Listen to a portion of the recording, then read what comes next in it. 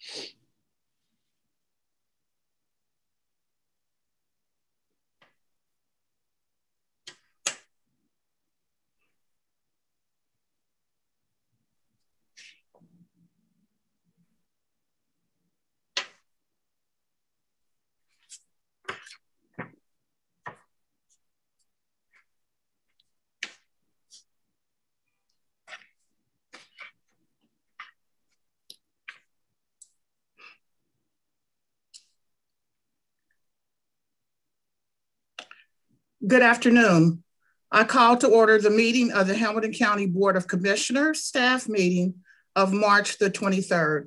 Good afternoon, Madam Commissioners. Good afternoon. Good afternoon. We're going to move forward. We have uh, quite a few items on our agenda, and I was just told that we do have uh, some public that would like to make some comments. Um, in general, um, I'm not sure, Bridget, if it's related to some of the items on here or just a general comment. Steve, um, Cinnamon Pelly is going to comment on um, the uh, the bus conversation. So okay. um, if anybody has a general comment, if they could raise their hand right now and we'll allow you to speak.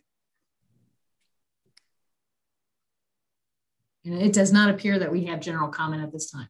Okay, thank you so much. Um, before we get started, I'd like just to say a couple words uh, of our prayers go out, and I'm sure my colleagues agree for uh, the 10 people that were killed senselessly uh, in Boulder, Colorado. And so our prayers go out to the families and friends of those people. Once again, uh, senseless murders that took place. So we certainly want to give our, our thoughts to uh, Boulder, Colorado.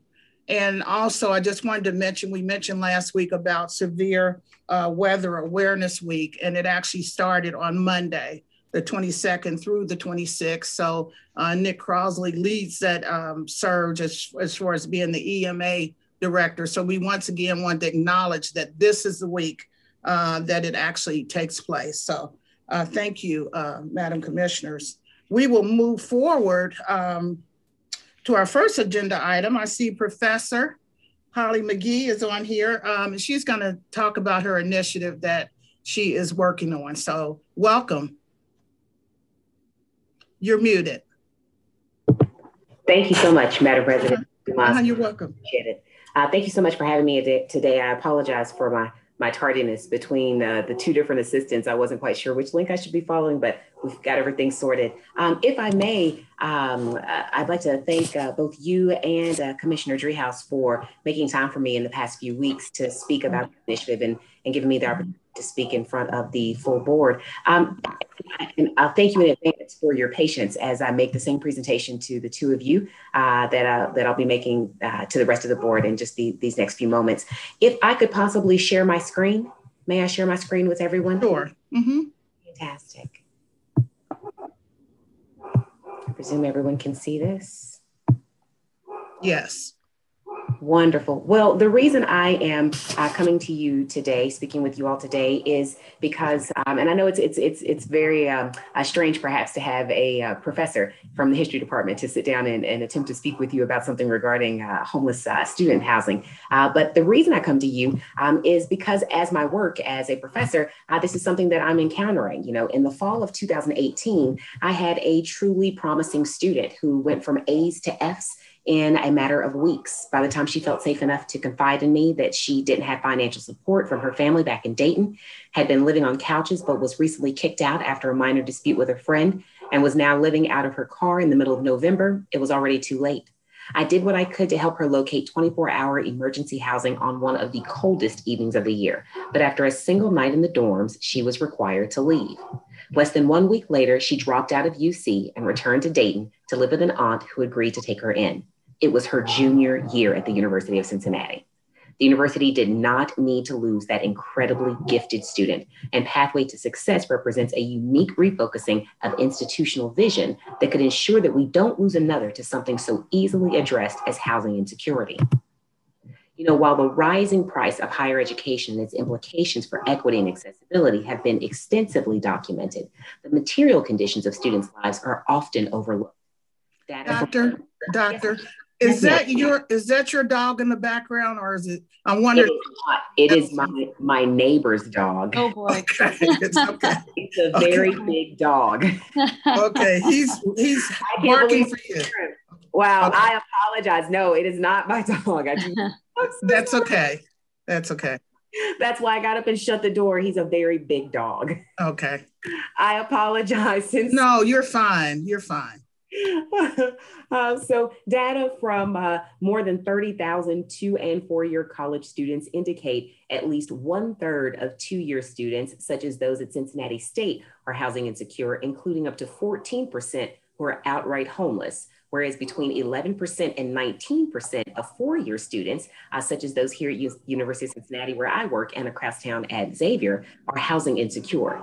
These studies, however, do not address the unspoken personal costs often associated with student housing insecurity. Disproportionate exposure to arrest, incarceration, drug use, the development of mental health issues, and sexual assault. No young lady who identifies as a bearcat, a musketeer, or a surge should ever again have to choose to sacrifice her virtue for a consistent place to sleep. You know, most of the students that I work with at the University of Cincinnati, they work and they receive financial aid to cover tuition, but only a fraction of them receive public or private assistance to help make the practical ends of housing and food insecurity meet city of Cincinnati is unique in the state of Ohio in that the Queen City is home to more than three, pardon me, is home to three colleges and universities that annually service more than 60,000 students. Pathway to Success would offer the University of Cincinnati, Xavier University, and Cincinnati State a unique collaborative opportunity to directly address the student homelessness crises on their respective campuses. It also represents an amazing opportunity for our institutions to work closely and without competition for this housing and security niche with both the, with both the county and the state. Now, the goals are simple and there are only three. First, I want to encourage a reassessment of institutional priorities that recognize student homelessness as a critical issue. Caring for students is just as important as educating them.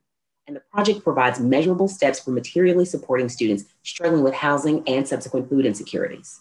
Second, I'd like to create an integrated educational and residential services program that directly improves the educational and psychological health and well being of college and university students across Cincinnati.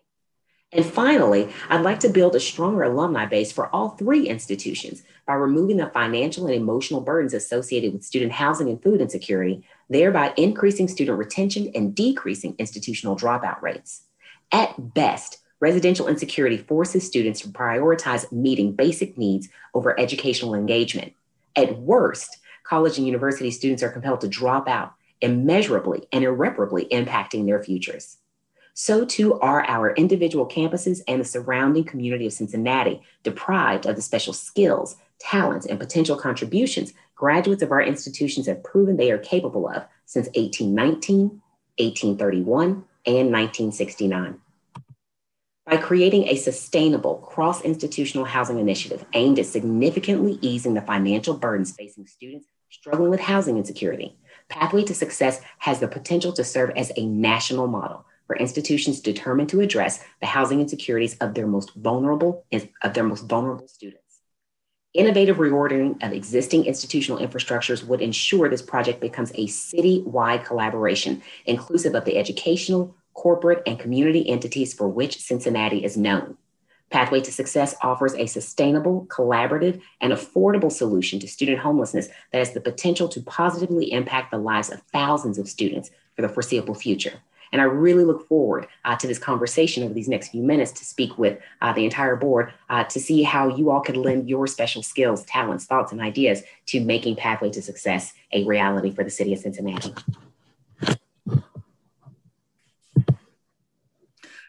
Thank you very much. Um, um, I, was truly impressed with the conversation that that we had uh, a couple weeks ago, and um, I will open it up um, to our other my other colleagues. Uh, Vice President Alicia Reece, did you have any comments on the concept itself, or uh, what you think we might be able to do as a board, uh, if anything?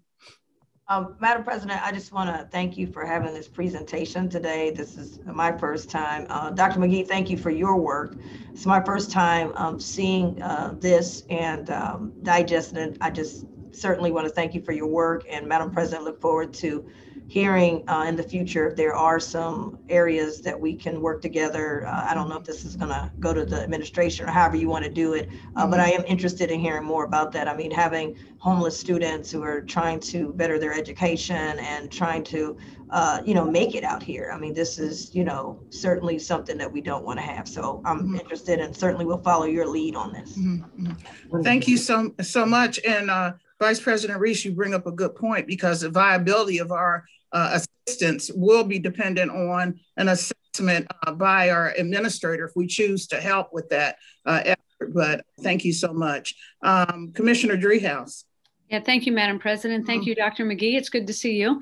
Um, yeah, we had a, a, good conversation about the need, and we did a, just a little bit of brainstorming um, on the call uh, regarding what might be options uh, for the county. And so I too will look forward to the administration weighing in and making recommendations. Um, some of the things that we had talked about uh, you know, we do sir, or, uh, have the strategies to end homelessness. They are recipients of levy dollars through the indigent care levy. And so um, I'm wondering if there's a fit there. Um, also wondering if there's a fit through some of the American Rescue Plan dollars that we're due to receive. And maybe there's a nexus there. We've, we've done some work um, to make sure that people that are experiencing homelessness are housed through our previous round of dollars. So I'm wondering if that's not a good fit, maybe temporary, but uh, at least a start. And then um, I also had mentioned the, the idea that all three of us support um, an effort from the county to get more involved when it comes to affordable housing um, through a group that will be stood up uh, mid-year or so. Um, and from my vantage point, affordable housing does go all the way from affordable housing and, and different forms of that, but also all the way down to the homelessness situation in our county. And so um, I believe there's probably a nexus there, and, and maybe we can incorporate some of this into um, that group's work uh, as we go. So those were just, that's just my first um, kind of off the cuff thoughts, uh, but I'll look forward to um, getting a, you know, having the, the administration weigh in and then continuing to try to think through what we can do here. Mm-hmm. Thank you. And I believe that um, Jeff also spoke to uh, the professor. Am I correct? Well, I, I, think we'd emailed each other a few times. We haven't okay. spoken uh, yet, okay. but uh, no, happy uh, and looking forward to uh, connecting uh, with with Dr. McGee. And as the board all mentioned, um, we have a couple of different efforts going on right now. The uh, our affordable housing or our housing plan, I should say, um, that we're in the process of, of uh, assessing on behalf of the board, which as Commissioner Driehaus indicated, um, you know, a, a, housing plan looks at housing across the uh, the gamut of housing options in the community from uh, you know executive housing at the very top through market rate um, workforce affordable housing, but into the emergency shelter uh, realms as, as well. So uh, look forward to wrapping that conversation, uh, this conversation into that effort, and also looking at other ways that we might, through some of the uh, departmental efforts, either through JFS or community development, um, look at some um, more uh, timely ways that we might be able to tie in programmatically here as well. I know that the doctor has talked with uh, Joy Pearson, I believe, in community development, so we'll we'll circle back with Joy um, and see if there's any uh, ideas for how we might tie into uh, Dr. McGee's efforts uh, as well through that. So I'll certainly report back to the board uh, once we have some more conversations on this and connect more with Dr. McGee. Mm-hmm. Thank you. And, Madam um, President? yes. Uh-huh. Can I, can I just uh, add something? I want to piggyback on Commissioner Driehaus. Uh, she brought up some very good points. Mm-hmm. We have a, a, consultant, I think, is looking at our levy, different levies, and mm-hmm. certainly this should be on the table as they're looking at that.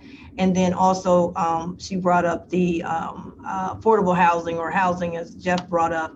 And I think it, uh, you know, we got a lot of people at the table. We should definitely have the universities possibly that deal mm-hmm. with housing to be maybe a part of that because mm-hmm. you know maybe Dr. McGee or someone else that deals with housing because she's brought up a good point you know with the university that's a big recruitment of people wanting to mm-hmm. come here or people want to stay here and go to school here um, so maybe you want to add them possibly so I thought that was a good point uh, Commissioner Driehaus brought up and mm-hmm. maybe um, add that to the to the things that they're looking at so thank you yeah thank you and that's uh, really important to improve and we improve our involvement by including more partners uh, that are part of the the and they can be part of the solution.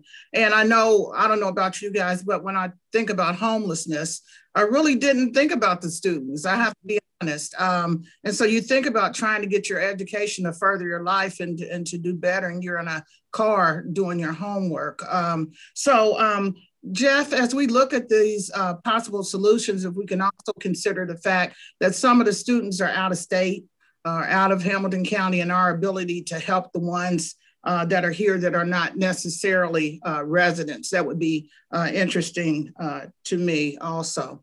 Okay, and um, Dr. McGee, I'd also like to know as we look at how we can help, if you can uh, maybe be specific on where you would like our help. Um, we know, of course, housing is is is the main thing, but how what yeah. uh, can we help? And maybe you don't know, but I'm sure Jeff will help you with what we can do and what right. we can't do. Okay. Well, I've been, thank you so much, Madam President. You know, I've been in a really good position these past few weeks uh, because of my work with the UC Venture Lab to be in the presence of and be um, speaking with and working with people who know what they're doing. So not only have I been able to speak with Joy uh, Pearson, I've been able to speak with property developers, uh, like people from the model group. I've been able to reach, uh, reach out to people with Lighthouse Youth Services um, and a number of other places that do very similar work.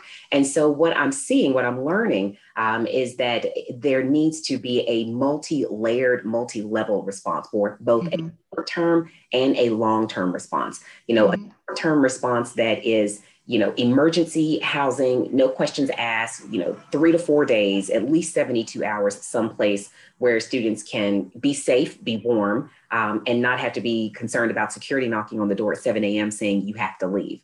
So there needs to be a short-term solution for students and then a long-term solution that has options for students at different need levels. There are mm-hmm. students who want to and need to have that very structured dorm type of residential living type community. And then there are other students, grad students, who don't want or need that level of interaction. Mm-hmm. Is breathing space. You know, I know I, I, I communicated this to both you, uh, Madam President Dumas, and Commissioner Driehaus that, uh, you know, students don't want a handout you know most of my students at uc they have jobs uh, you know the 40% of them have two jobs you know mm-hmm. so they're accustomed to working they want to work they enjoy working what they need is some breathing space you know mm-hmm. a, a, you know a short and a long term solution that might provide some type of direct cash deposit uh, for students you know the, the idea that only $1500 could avert student homelessness altogether blew mm-hmm. my mind you know it's $1500 yeah. they could take care of a deposit, first month's rent, put some utility utilities and put groceries in your refrigerator.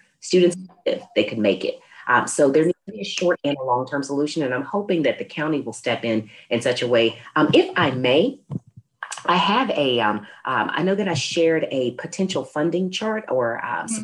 chart with you and Commissioner Driehaus. May I show that to the entire board? Is there time for that, or would you prefer to send that? Well, are you going to go through the whole thing? Possibly. Uh, I, I, I could, or I could just send the the the, the sheet. Well, well, you know, uh, Dr. McGee, I see you coming back before us. I mean, if the other would like for that to happen, fine. But I see as you and Jeff speak uh, that that chart that you have may even change. Um, okay, great. Uh, why don't we do that at, a, at another time? That sounds great okay with you. That sounds great okay. Is that okay with you guys? Whatever the suggestions of the of the county board are at this point. Okay. okay. All right. Okay, well, thank you so much for coming and let, letting us know about your initiative. And we're excited about it, and we're, we're not going to sit on it, I'm sure, uh, as it relates to letting you know what we can provide as a system. So thank wonderful. you so much. Thank you all so much. Have a wonderful day. Uh-huh, you too. Okay, next on our agenda, we have Metro Operations presentation. Mr. Haley is here.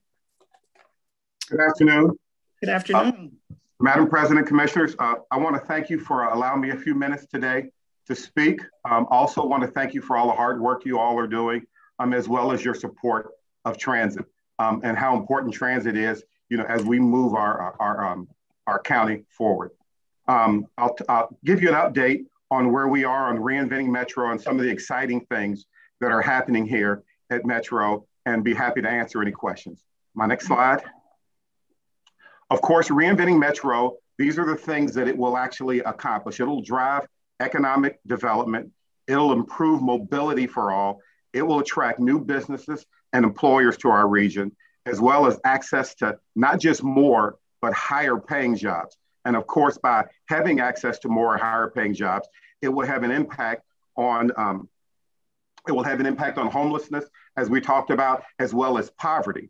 Um, also, improvement to the local and the regional quality of life, and all of those things work to expand our regional connectivity.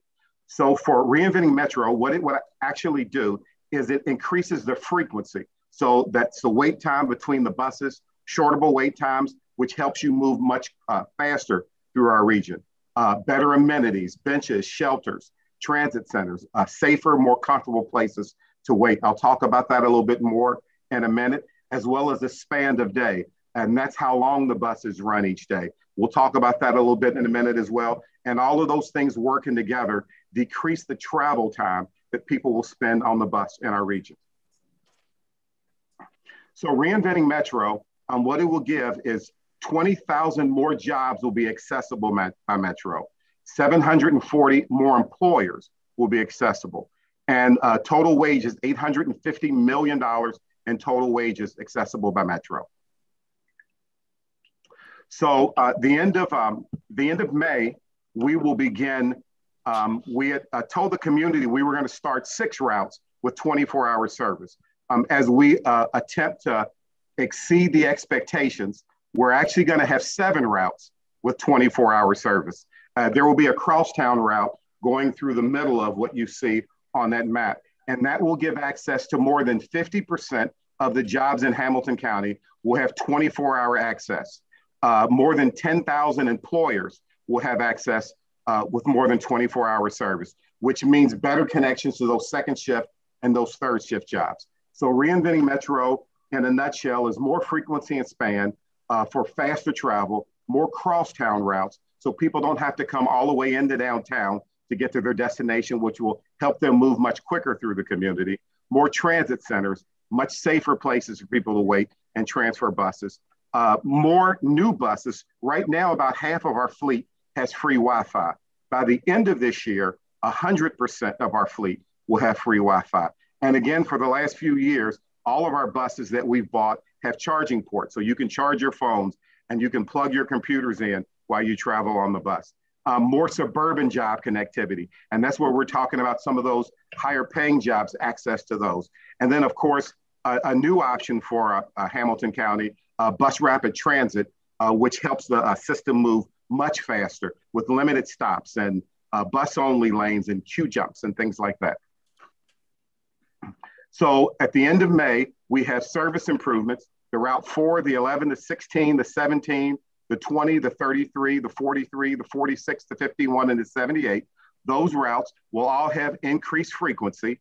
Um, there'll be a seven, uh, seven routes that will operate 24 hours a day. We have increased Saturday and Sunday service. One of the things about our, our service right now is our service drops way off on Saturday and is almost non-existent on Sunday.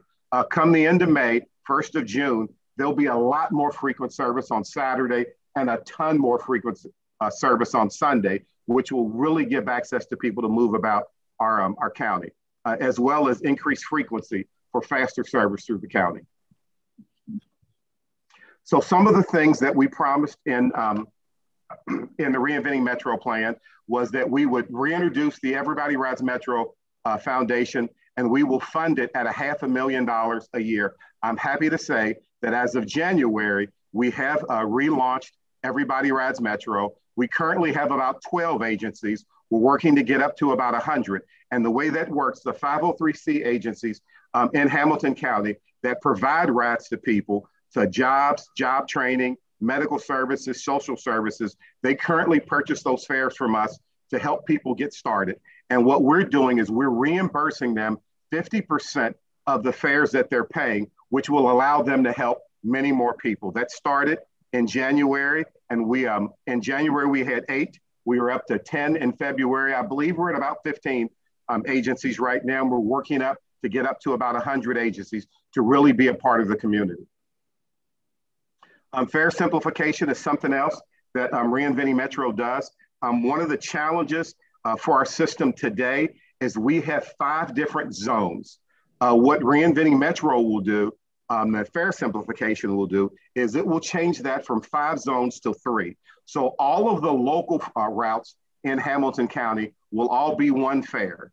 And then there'll be one single fare for the express routes, and then another single fare for the outlying county routes. Another part of this is all of the transfers will be free. So if you're using the app, the uh, transfers on the app are free. If you don't have the app, you can go to the sales office, buy five ride ticket, and then transfers on that five ride ticket are all free. So our day pass cost will go from 450 to $4.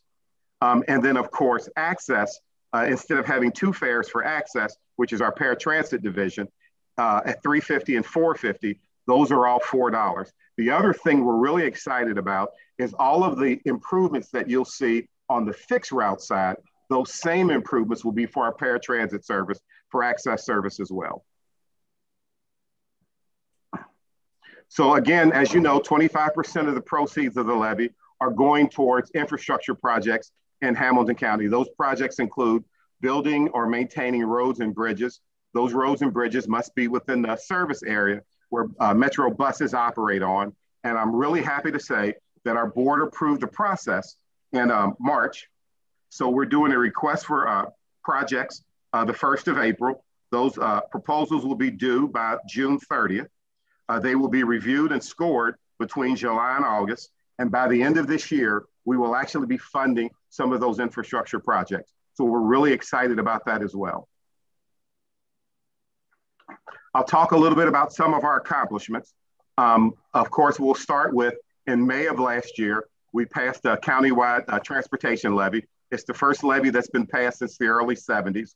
We opened up a new uh, transit center in Northside. If any of you haven't been there to see it, it is an absolute beautiful facility. Um, we thought about the future, so we ran the conduit for uh, charging electric buses. So when our fleet begins to be electrified, this uh, transit center is ready to charge those electric vehicles.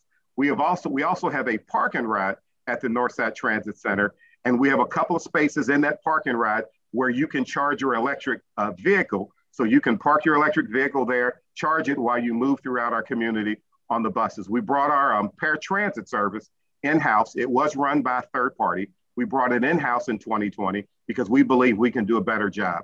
Um, we had really begun to uh, really um, increase our ridership.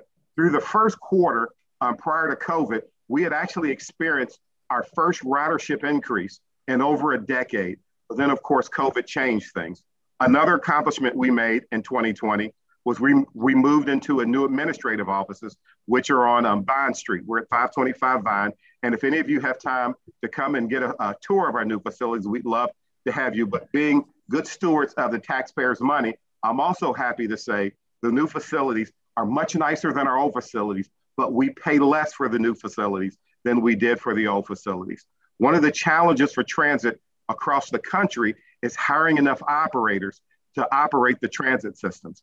Um, I'm happy to say that in 2020, for the first time in more than a decade, we became fully staffed with operators. Um, we also became uh, one of the first businesses in the city to recognize Juneteenth as a paid holiday. We installed 50 new benches last year, and we also secured a contract to install another 400 benches, as well as 205 new shelters at bus stops. One of the things we're extremely proud of about this is those benches and those shelters, they won't cost us anything to procure, nor will they cost us anything um, to actually put in place. So we signed a contract with a vendor who they will purchase the, um, the uh, benches and shelters and they will install them. They will advertise on the benches and in the shelters and the revenue that they will generate from advertising will pay for the benches and the installation and it will even generate additional revenue for us to help operate the bus system. So we're really excited about that. We gave Government Square, our biggest transit center, a facelift. We're happy that we were awarded $3.4 million in competitive uh, ODOT grants, uh, State of Ohio grants last year. And um, at the beginning of COVID, one of the things we're really proud uh, that we did in order to keep our customers safe as well as our drivers safe, we in-house, our maintenance team designed, fabricated, and installed barriers on 100% of our buses. And by doing that, what most transit systems did is they roped off half the bus to keep the social distance between the operator and the um, passengers. What we did by installing these um, barriers, we kept our, uh, our employees safe, but it allowed us to open up the entire bus so our passengers could social distance. We did that all in-house, and we're really proud that 100% of our fleet, very quickly, we had um, those uh, barriers on the buses. We also reimagined our customer care center, which was open, excuse me, Monday through Friday. We are now open seven days a week, so customers can call and get information from us as well. We did that in 2020. We added 19 new buses in 2020 and another 10 more in February of this year. We completed what we call the Fast Stop program, which we looked at all of our bus stops, where they were, how they were spread out, and re- restructured how our bus stops are to make sure that they're in the right places and that our buses can move very quickly through the corridors. We renegotiated our Wi Fi data contract. We actually saved $60 per month per bus. And again, by the end of this year, we'll have a free Wi Fi on 100% of our fleet. We also launched a new Metro Veterans program, so veterans now only pay half fare to ride our buses. We received a couple of awards the APTA Security uh, Excellence Gold Award. We received the APTA Ad Wheel for Best Print Media Award to increase ridership. Uh, four of our employees won APTA Excellence Awards. We had more than 100 employees receive Safety Milestone uh, Awards, and I received a couple awards myself. The whole goal here is to exceed the expectations. We made promises to the community. We will live up to all of those promises, and it is our job here at Metro to work extremely hard to exceed uh, exceed those promises. Um, those are just some of the um, exciting things going on here to uh, implement reinventing Metro. I'm happy to answer any questions you have. And again, thank you for all the hard work that you all do. Thank you, Ellie. Uh, I, I, I, am worn out. um, I just want to thank you and your team uh, because oftentimes when we pass a levy, uh, our citizens are wondering what do we do with the money? Um, and so and how did that help me by you know by increasing my taxes? So um, i just have a couple other comments but i'll open it up to our my colleagues uh, vice uh, president Reece uh, if you have anything you'd like to add. Uh, no i actually got a chance to uh, see the presentation and ask questions. I just want to say uh, it looks like we're, you know, moving in the right direction. And uh, obviously want to put on the table one of the biggest things uh, with that was advertised was the Western Hills Viaduct. I think uh, uh, we talk about the city and the county working together.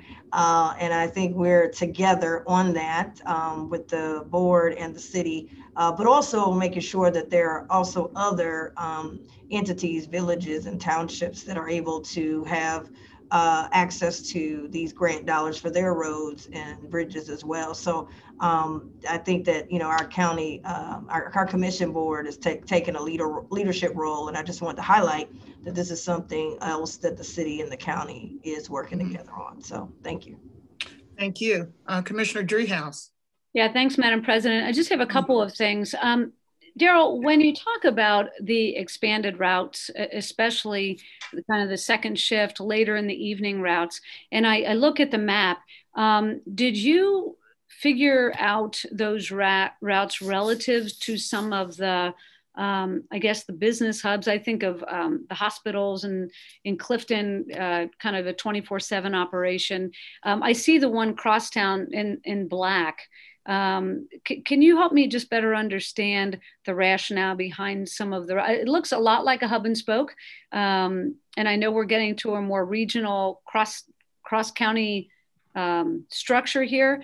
Um, and so, just can you just talk me through this map a little bit? Sure. Th- these are just the first year changes. Um, there are additional crosstown routes in out years, which will connect even more and more of the um, of the county. What, what this does, what we did is we looked at where the jobs hubs were and where the density was so that we could make sure we connected the most of the density to where the jobs were. So this is just phase one of reinventing Metro. There are several other, um, and I'd be happy to come back and give you a much bigger view of reinventing Metro year two, year three. But this is just the first phase of reinventing Metro, where we really focused on the job hubs and the density um, to make sure we were connecting those people to the jobs that they needed to connect to. Okay. Yeah. You know what? Maybe we can do that offline. I can see some of the um, maps that are a few more years out so I can better understand this move yes. to cross county routes, which was another thing that was promised um, by way of the levy. Um, secondly, the you mentioned the fare change, and that's already gone into effect, has it not? It goes into effect April 4th. Okay. All right. I yeah, I applaud that. I think it'll simplify things a bit um, and hopefully make it just more predictive, you know, for for the folks that use the buses. Uh, and then my third item is the Western Hills Viaduct. Um, I too want to put that back on the table and um, just make sure that uh, we're on record as being in favor of it. We just put in for, um, put a letter of support together for the infra grant. We're constantly begging for money for the Western Hills Viaduct. Uh, and so SORTA's money is no exception. So mm-hmm. I will echo what Commissioner Reece said and mm-hmm. make sure that's front and center. Well, there, there's a lot of um, commitment from the community. I thank you, uh, the commissioners, for your uh, commitment and support. We have an excellent uh, board of directors here at SORTA and the uh, leadership staff here at SORTA, we're all working together. Um, we are going to make this happen. Um, we are going to reinvent uh, transit in our region. I mean, I think we're going to put, I'm positive, we're going to put something out that we're all going to be very proud of. Nice background, by the way. Thank you. yes, thank you. I was I was getting ready to say the same thing. Um, I just wanted to mention a couple things. I know with the North Side um, development, I was there for the groundbreaking, so I certainly will come and see uh, what ended up uh, being built. And then I just saw an advertisement yesterday that you were hiring a thousand operators. Um, uh, we're not hiring a thousand operators. Over the course of the next few years, we will be hiring about a hundred operators. We're trying okay. to get another. Um, we're trying to get another 30 or 40 operators right now. So we are definitely hiring. As we put out additional service, we're going to need additional operators. Um, so anyone that knows anyone that's looking for a job, operators, mechanics, um, all of the jobs are posted on our website. Uh, we would appreciate any help that anyone could give us. We are hiring right now, and these are good paying jobs. Mm-hmm. Well, that's good because as soon as I saw it, and I'm sure it said a thousand, you might want to check with the news uh, people because I immediately text, they're hiring a thousand. Are they getting rid of the other ones or what? You know, I was thinking, why would you need a thousand? So anyway, I'll just drop that in your ear and you can check and see how they, uh, the media dealt with it. But other than that, I don't have any uh, anything else um, to add. And we just thank you so much for coming. I wanted to comment about what Commissioner Driehaus said about, you know, looking at the third, uh, second and third year offline, but we really, we want it online. Uh, we want you to come back and show us that so we can be as transparent as possible. And the fact that our board is a, a visionary board, that we need to see where you're going. So, uh, yeah, we'd appreciate you coming back. Uh, we'll let you know when. Okay. I'd love to. And yeah. Uh, the other thing that we constantly do, we're constantly out in the public talking to the public about what changes. So, also part of the um, adding of the seventh route, uh, 24 hour route, was from the uh, feedback that we got from the communities asking, is there any way you can connect something else? So we'll continue to be in the communities, asking them questions, telling them what's next, getting their feedback, and then working their feedback into our plans for the future. Great. Madam President, can I ask yes. one other question? It's sure. very off topic. Um, but there, at one time, was a bill running through the legislature that um, talked about added protections for transit workers, uh, bus drivers included. Um, I don't know, it didn't pass uh, when I was there, Alicia. I don't know if it passed when you were there, but I feel like it didn't pass. And so, if ever, I, I just want to offer that um, if that were to come forward again, I don't know if someone's carrying it this General Assembly, but um, I don't. I don't want to speak for my colleagues, but please do check back because um, I wonder if we would be in a position to write a letter of support for that legislation mm-hmm. to protect our transit workers. Thank you very much for that offer. And uh, believe me, we'll take you up on that. Thank you very much. Okay. Thank you. Thank you. Thank you for that comment. Okay. Thank you, sir. Good to see you. We'll be seeing you soon. All right. See you soon. Thank you. Uh-huh. All righty. Um, our next item on the agenda is um, we are we brought this back for today, a resolution authorizing the award of a, an agreement. Um, so I'm going to open it up, and Jeff, you can take the lead on this. Uh, sure. Thank you, Madam President. So um, this item relates to um, probation's bid process for electronic monitoring services. um, and, and some questions that were raised uh, regarding that award and, and that process. So uh, just a little bit of background as the board is aware, uh, electronic monitoring services are a critical element uh, that the county uses or a critical program that the county uses to prudently manage uh, its jail population and make sure that uh, scarce um, jail county jail resources are used for the most serious of, of offenders. Um, that's just a little bit of background so folks who may be watching understand um, what we're talking about.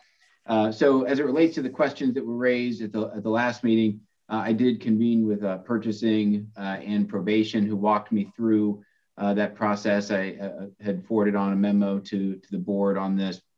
it does appear that the question at hand here relates to the degree of allowance uh, offered uh, by uh, an individual bidder who has raised some, some questions as well as some logistical questions about how equipment is, um, is, is sent back or not for repair services. So as opposed to me um, walking the board through that, I did think it was important to reach out to probation. So we have Phil Reed um, with the probation department who is on. I don't think he has video, but I do believe he has um, uh, audio uh, capability to, to weigh in here. So, uh, Phil, I'm going to turn it over to you if you are able to uh, uh, to uh, chime in on the on the Zoom to just walk the board through the the the salient issues as it relates to the allowances and the um, logistics of equipment, um, battery changeouts, things of that nature. And Phil, you might be muted, so you might want to click on the uh, the the mic there if you are able to. And uh, Bridget, I assume we have him on the uh, on the right side of the. You know, I actually do not see him on here, unless he is telephone number 513-620-3900. That is not his cell. Um, I can text him here.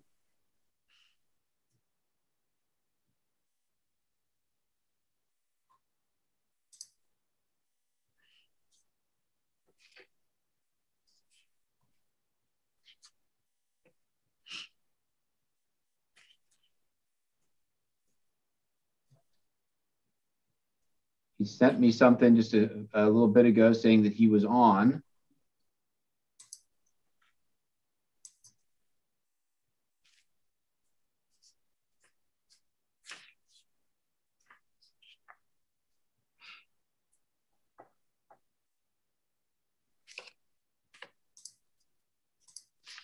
I'm not getting it. Madam President, I was going to ask yes. if, if, we're unable to get him on. I know there's several uh, folks on the call for the next item, and uh, if we can't get him on the call, I, I mm-hmm. would recommend if we could hold this. And, yeah, you want to hold.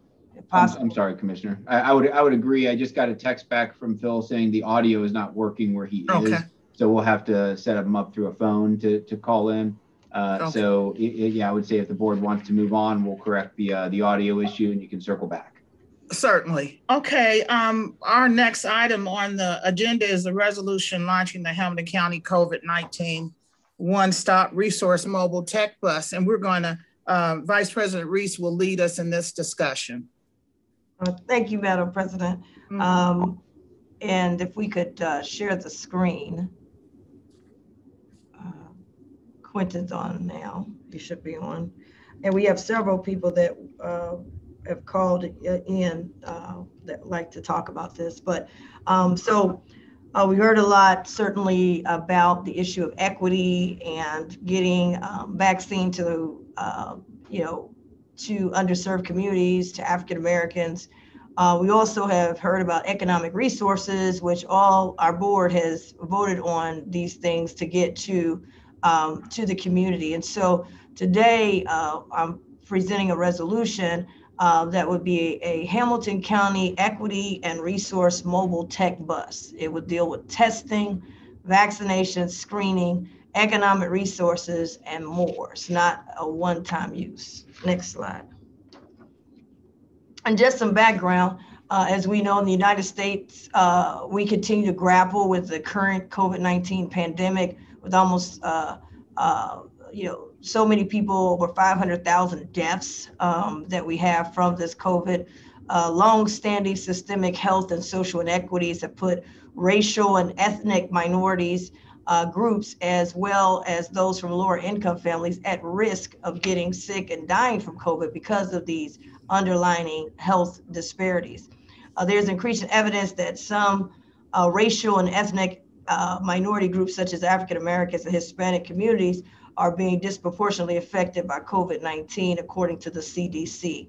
Research also suggests that those with pre existing health conditions have presented with higher rates of COVID 19 infections, according to the CDC. And I would like to add that all of us, uh, you know, unfortunately know someone that's been affected, uh, but I uh, have one that's been in uh, the hospital for a year now because of these uh, um, underlying conditions. They've had two strokes, they have to get a trach, and this person is uh, only, I believe, 40 years of age. Uh, next slide, please. Um, at the board, um, the board had great leadership uh, and led on racism as a public health crisis. Uh, resolution was passed uh, that you all passed in July of last year. And in that resolution, it talks about a lot of the health disparities that exist in Hamilton County and why those uh, health disparities are critical that we begin to address them and um, uh, begin to address them so that we can lower that disparity. Uh, next. So just some background.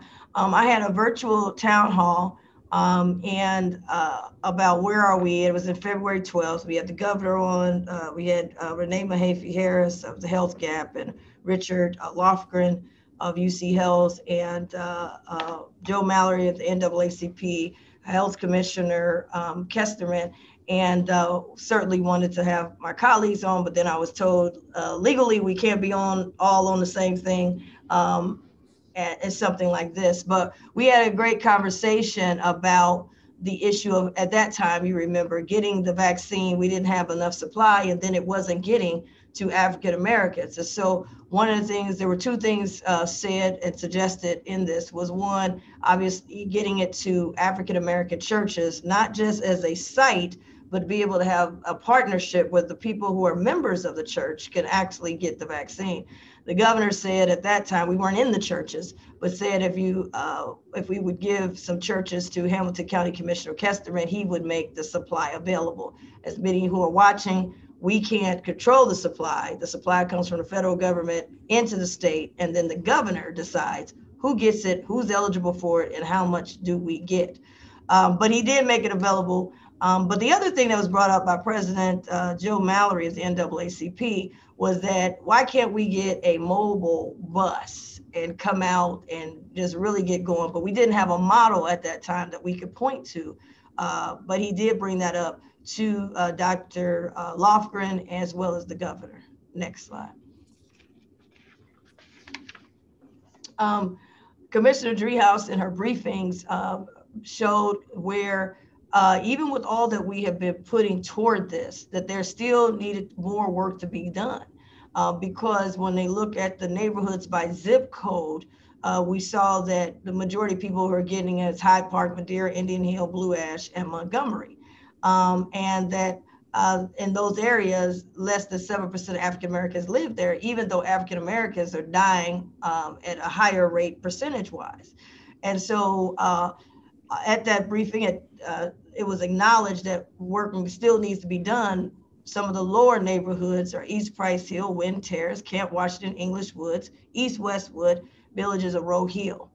Um, and those areas, uh, the way that we're set up with our health commission, every city that has its own, we, we don't have the jurisdiction to really go into. Uh, and as you can see that these with the lowest are in, in the city, although all of us are elected countywide. Next slide. So um, got a call by uh, Cincinnati NAACP President Joe Mallory. People had been calling the NAACP trying to find and figure out ways, that they've called so many other groups, uh, Urban League, et cetera, trying to figure out how do we connect to the vaccine. and also got a call from a pastor, uh, Dr. Uh, Brian Walker of Walker Funeral Home. So when the people die, uh, he has been doing, he said his increase in funerals have been unbelievable. And while, you know, he is a business, he does not want that uh, continuing. He's also lost a, uh, a relative and a worker to COVID 19, and he has seen the death certificates that say COVID 19 as the reason for African Americans. And as he has uh, people who are family members, he wanted to make sure that we prevent that. So we had a uh, press conference from grassroots people, from people that when we talk about equity, these are people that's there. They, these are the groups of people we're talking about. And they said, why can't we have a one-stop mobile unit? We highlighted Hampton University because they were one of the first in the country that I'm aware of that had a actual mobile bus. It's an RV. It's you'll see it in a minute. Has all the technology. It's one stop. It was designed by their students and the vice president research, who is on in a minute. We'll hear from her. Um, and so it was designed to by African Americans to go into African American and low and underserved communities uh, to make sure that they have access to uh, health uh, health services, including testing and vaccination. Next slide. Raw data, uh, Governor, in uh, down here in Hamilton County shows a racial disparity in delivering vaccinations into certain neighborhoods. And former state rep Alicia Reece, who you know, wants the state to help bring about a mobile van, a vaccine bus that would go into black neighborhoods block by block She'd like to have it operating in April. Do you find that to be feasible and, and how might the state help? I've talked to Alicia about this. Uh, she and I have known each other for, for a long, a long time. She served, uh, she and my son, Pat, served on city council together and uh, she's, she's a friend and uh, she's absolutely right. It needs to be done. Next slide. So we had the governor um, who controls the uh, amount of vaccine we get. So you can't have a, a bus if he says, I'm not going to give you the vaccine.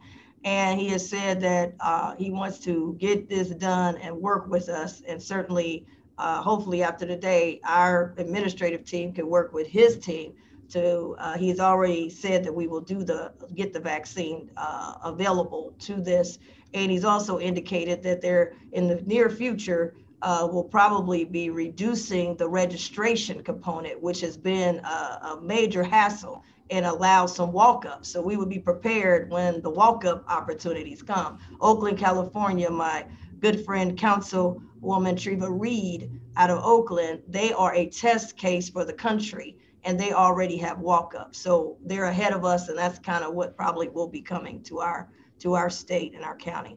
So Hampton University, Hampton University has a one-stop mobile tech tech bus. So it's uh, it has COVID testing, has vaccination, it has pharmacy, laboratory, Wi-Fi, touchscreen computers. When they go in, you say, "Oh, register." We can register you right there on the bus uh, with the touch touch screens that's on the outside of the bus.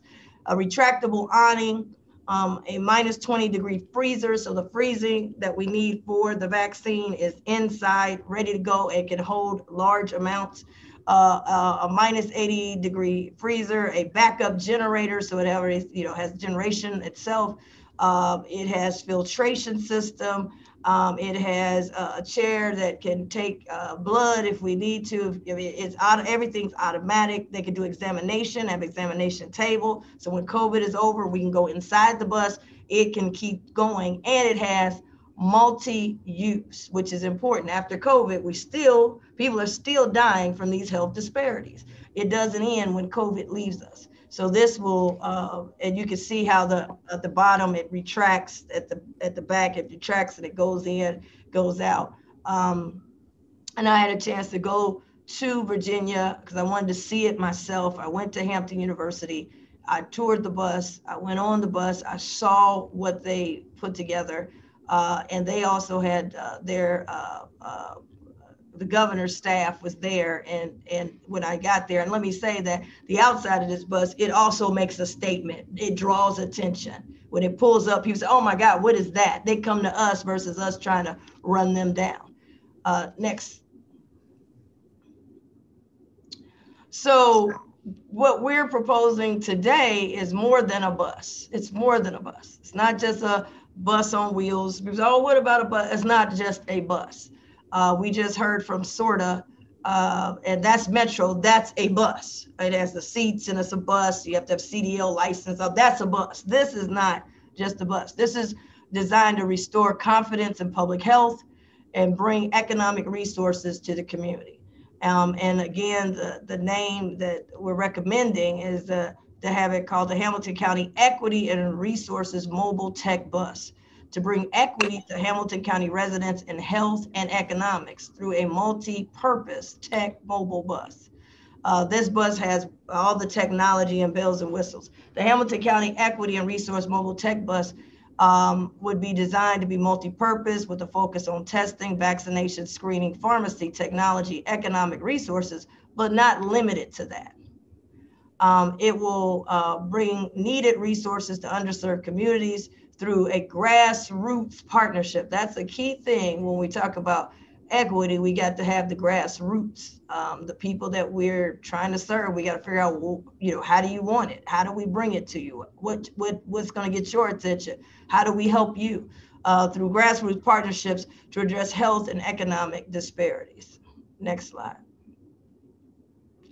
So with that, uh, we've been um, trying to do our homework, and uh, I want to thank uh, my my staff, uh, my uh, chief of staff Quentin Monroe and and Edgar Malcolm, uh, and working with Commissioner Dumas and Commissioner Driehaus's staff as well.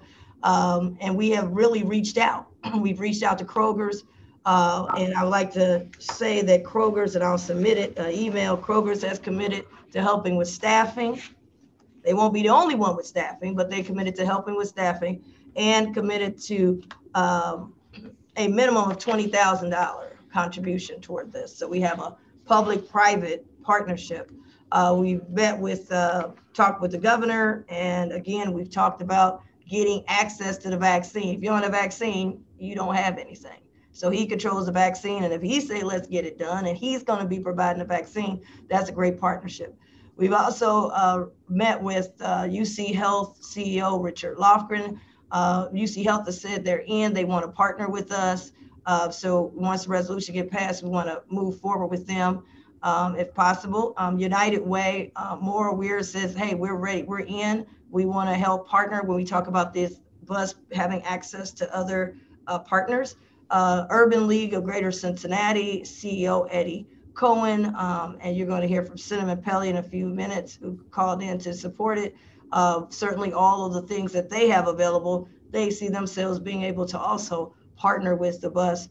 Walker Funeral Home, uh, who is a pastor and actually a funeral home that has been unfortunately burying these folks that have been uh, hit by COVID in our community uh, is on as well and says they would love to partner. The bus can pull up there and they can help other families not have to get COVID uh, and help with other health things. We can be very creative with this uh, mobile unit.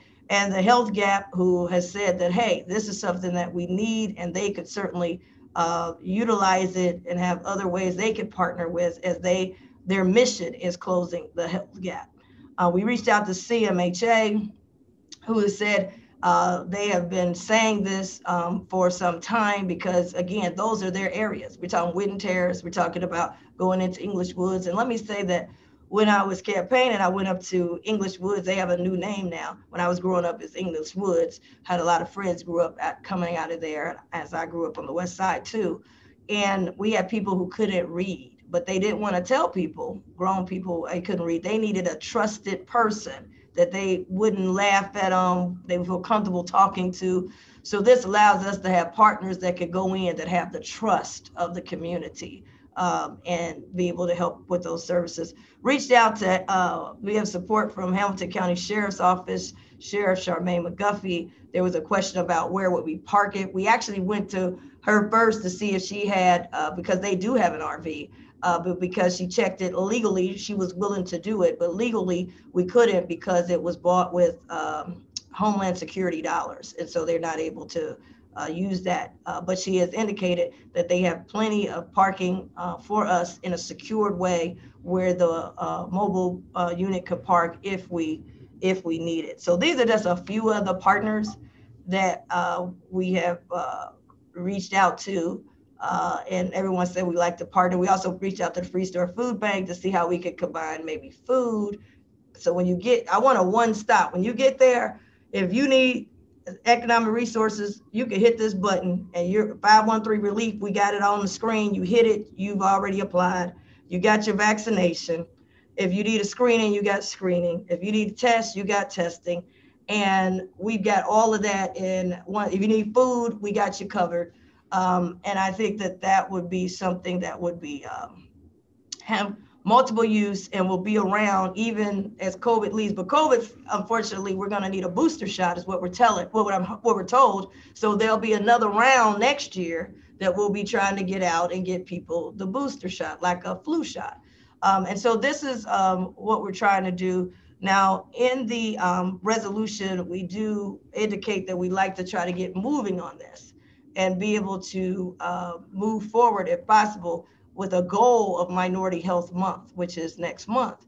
Um, we have also had conversations, and Jeff was on those conversations, uh, along with other partners, with um, the manufacturer of the actual, so they can ask all the technical questions, and the the, the manufacturer is available to answer those um, as well.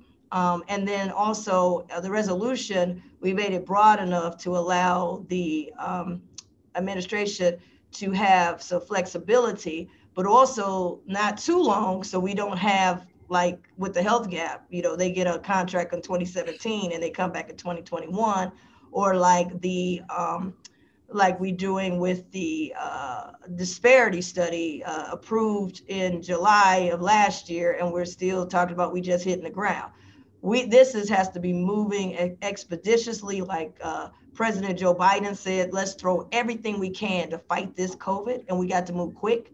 Uh, the governor said let's throw everything we can and we got to move quick. And if we can get a vaccine johnson and johnson um, all of the other ones pfizer if they can come up with a vaccine we can come up with a bus. Uh, so i would hope that we could move this expeditiously like we do on some other things that we have that are uh, priorities. So that is what's in the, um, this is kind of what it is. Um, I'd like to have, um, if you don't mind, I'd like to have, because she was great to host, uh, host me down there and she was very complimentary of Hamilton County uh, and what we're doing. She researched us. She was very excited to have uh, our leadership uh, here in Hamilton County and host me down there. Dr. Uh, Michelle Penn Marshall who's the vice president for research and the dean of the Graduate College of Hampton University in Virginia. Um, and I'd like for her to say a few words on uh, sustainability and what they've been able to see. This is not their first mobile uh, bus. They've had a mobile clinic before. Uh, she'll talk about that for, it has been in existence for 20 years. This is the second one because it has all the technology. Uh, Dr. Penn Marshall? Yes, good afternoon. Can everyone hear me? Yes. yes. Wonderful. Good afternoon, President Dumas, Vice President Reece, Commissioner Driehaus, and County Administrator Aluotto. I do hope I pronounced your name correctly, sir. I'm Michelle Penn Marshall, as Commissioner Reece said, and I do bring you greetings from our university president of 43 years, Dr. William R. Harvey. I wanted to share, Dr. President Harvey is an astute businessman. At Hampton University, our endowment has grown 866% since he has been president. So sometimes people are concerned or they think, oh, you have extra money, that's how you can build things and do things. No, it's because he's a fundraiser. It's because he is very prudent and judicious in his spending, and he commands, sometimes demands, the same thing from us. But I joined the faculty in the School of Nursing in 2007 at Hampton University, and they have been operating a mobile health clinic for more than 20 years. They received funding to do that from the Kellogg Foundation and subsequent funding to sustain it from HRSA. And that mobile health unit provided health care to the city's citizens in the cities of Hampton and Newport News. There were many persons who were homeless.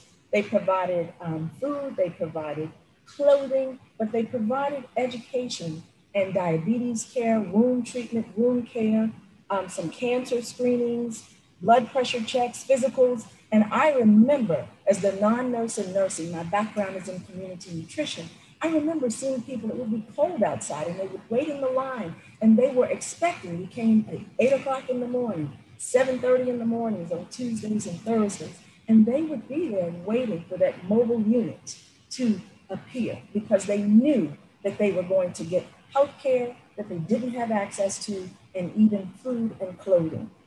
So what I want you all to also note is that our current mobile unit, which was designed by Hampton University faculty, staff. Um, we designed it. I wanted that unit to be a whole lab, that Mr. Looney can tell you.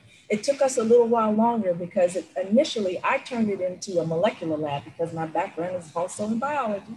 I turned it into a molecular lab and had the whole mobile unit looking that way, just like our physical lab in a building. And the president said to me, we were almost at the end of the design. He said, Michelle, do you think we really need to collect samples in this mobile unit, PCR samples, or take them back to the lab? I said, sir, you're right.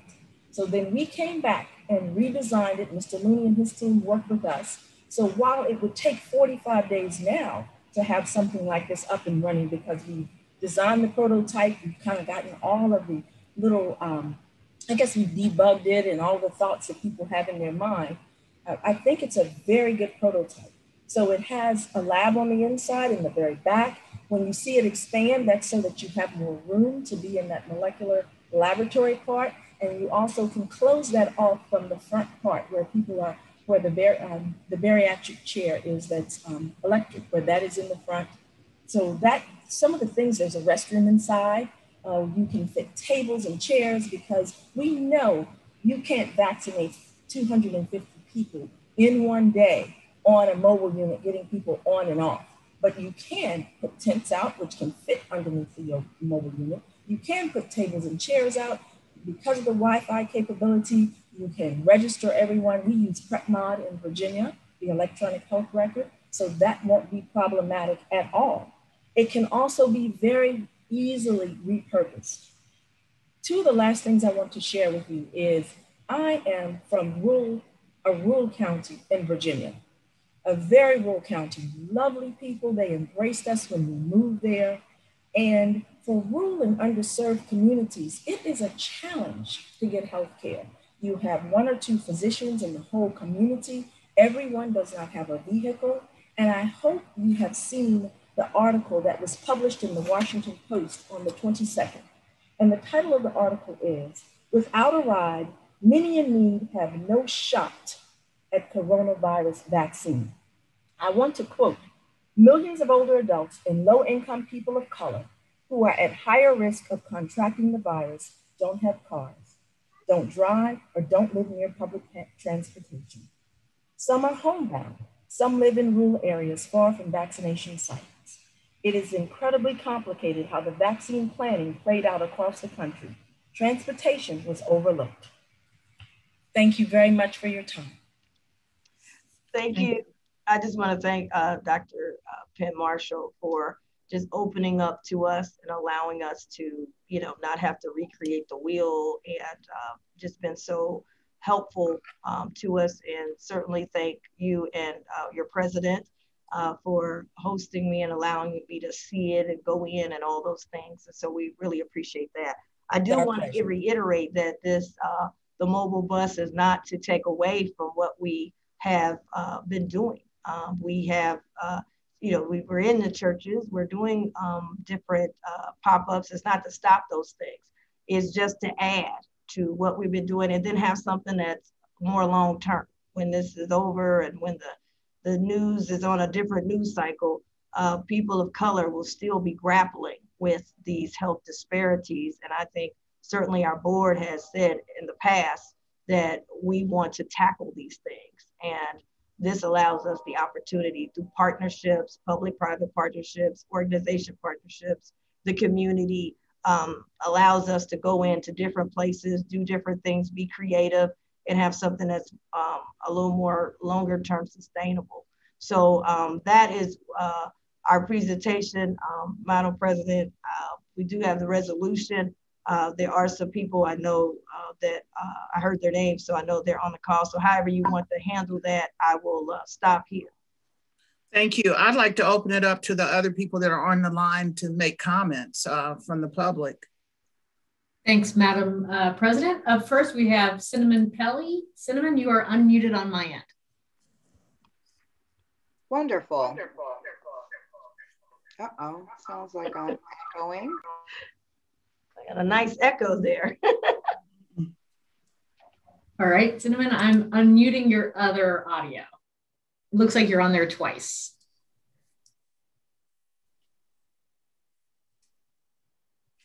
Um, Cinnamon, we might need you to log off and log back on because you were on there twice. Um, and how about let's go to our next guest, Dr. Brian Walker. Hey, I'm here. Oh, thank you, Cinnamon. You had the uh, pleasure of addressing the board for two minutes. Thanks. Okay, wonderful. Hi, I'm Cinnamon. I'm the Chief Operating Officer at the Urban League of Greater Southwestern Ohio, and I just want to speak in support of the launch of this one-stop resource mobile tech bus. As uh, uh, Commissioner Reece and Dr. Penn Marshall have talked about, the need for testing and access to vaccines continues in the community, particularly in African American and other underserved communities where the negative impact of COVID infection has taken a significant and disproportionate toll. Um, the Urban League, through community based partnerships, continues to offer weekly COVID testing, and we've connected more than 500 people to vaccine appointments. We continue to hear that um, those that are interested in the vaccine struggle with securing an appointment. Uh, a lot of the reasons and barriers are attributed to transportation and the digital divide uh, particularly for our seniors that have to navigate technology to register and secure appointments. Um, so in order to ensure more equitable access to COVID release, we really need to uh, remove these barriers. And we believe that by taking these resources to the community, it'll help um, reach uh, underserved communities by eliminating some of the major obstacles to access. Um, again, I'm here to speak in support of the launch of this mobile tech bus, um, not only for now, but in the future to continue to deliver relief and resources for communities that need it most. Thank you. Thank you. Next up, Commissioner, we have Dr. Brian Walker. Dr. Walker, you are unmuted on my end. Okay, thank you. Uh, hello, everyone. uh, my name is Dr. Brian Walker. I'm a pastor of Bethel Baptist Church in Walnut Hills.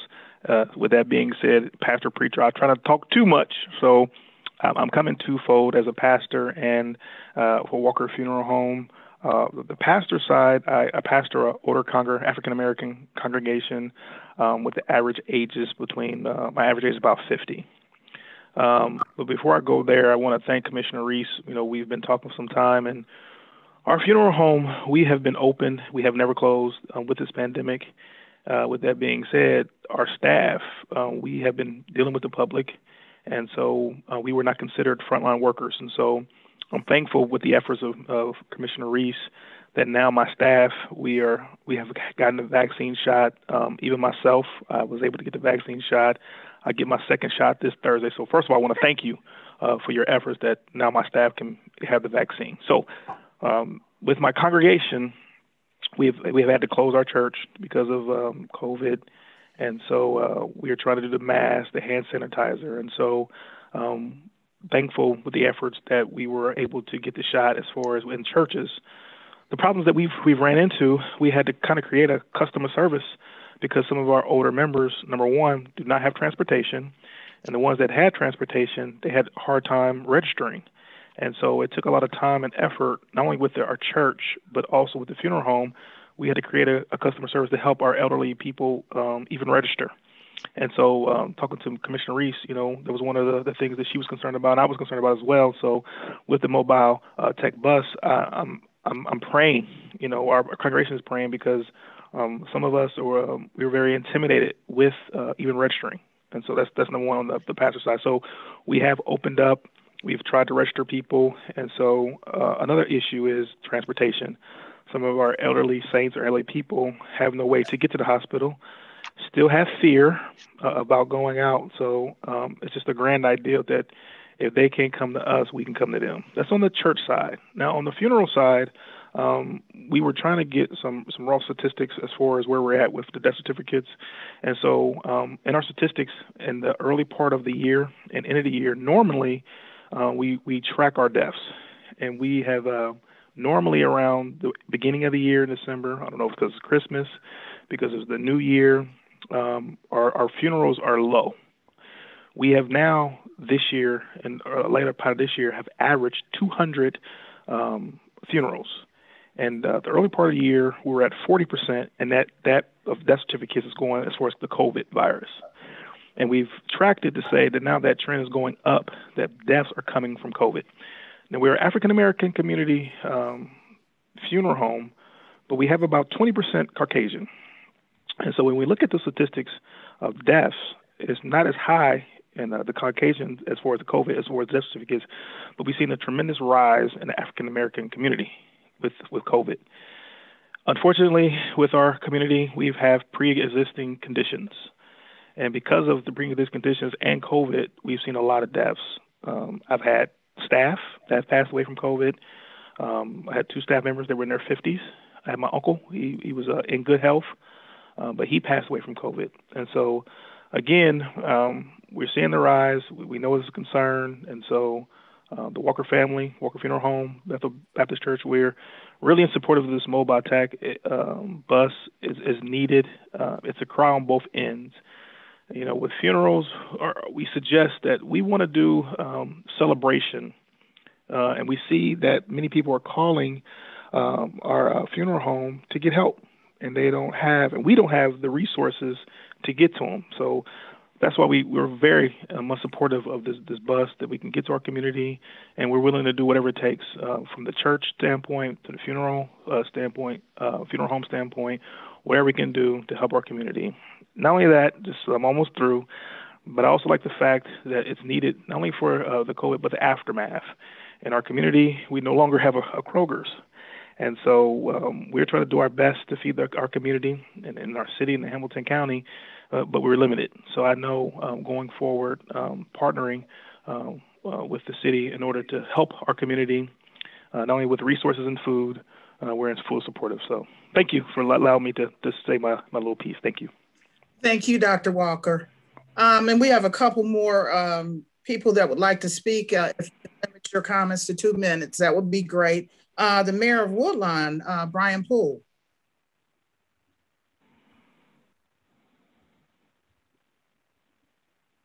Are you there, Mr. Poole?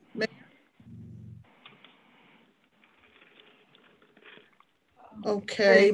I just see him at the bottom. He just there he is. He's he's unmuted on my end, so he would just need to unmute. There he is. Okay. All right. Good afternoon, ladies and uh, commissioners. How are we this afternoon? Great. Thank you. Good afternoon. Good. Good. Good. Just want to uh, briefly just touch base on the uh, conversation today. Has just been awesome. Got to uh, hear what Dr. Uh, Penn Marshall had to say, Dr. Walker. Good stuff. Um, I just wanted to just dive in and just really talk about uh, the partnership where we allowed uh, to come together in Woodlawn for what we call the trial run of the 60 doses. And it showed me as a mayor um, that we need more, and we need more beyond um, the the walls of the pandemic. Um, bringing this health van, this mobile tech van beyond COVID. It's just something that excites me. Our residents are, are constantly calling the village office asking when we're coming back. So hopefully we can come back uh, for the vaccination in a bigger, stronger uh, volume. It was very successful.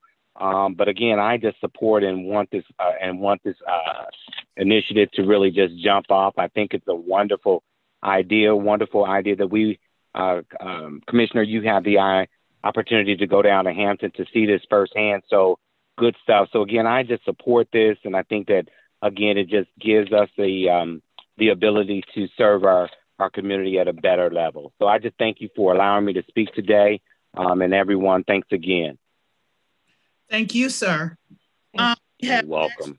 Uh, Renee Mahaffey Harris of Closing the Health Gap.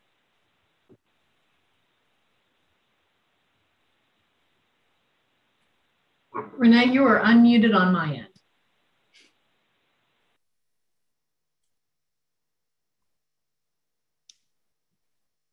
Sometimes star six also will help you unmute on a, on a telephone.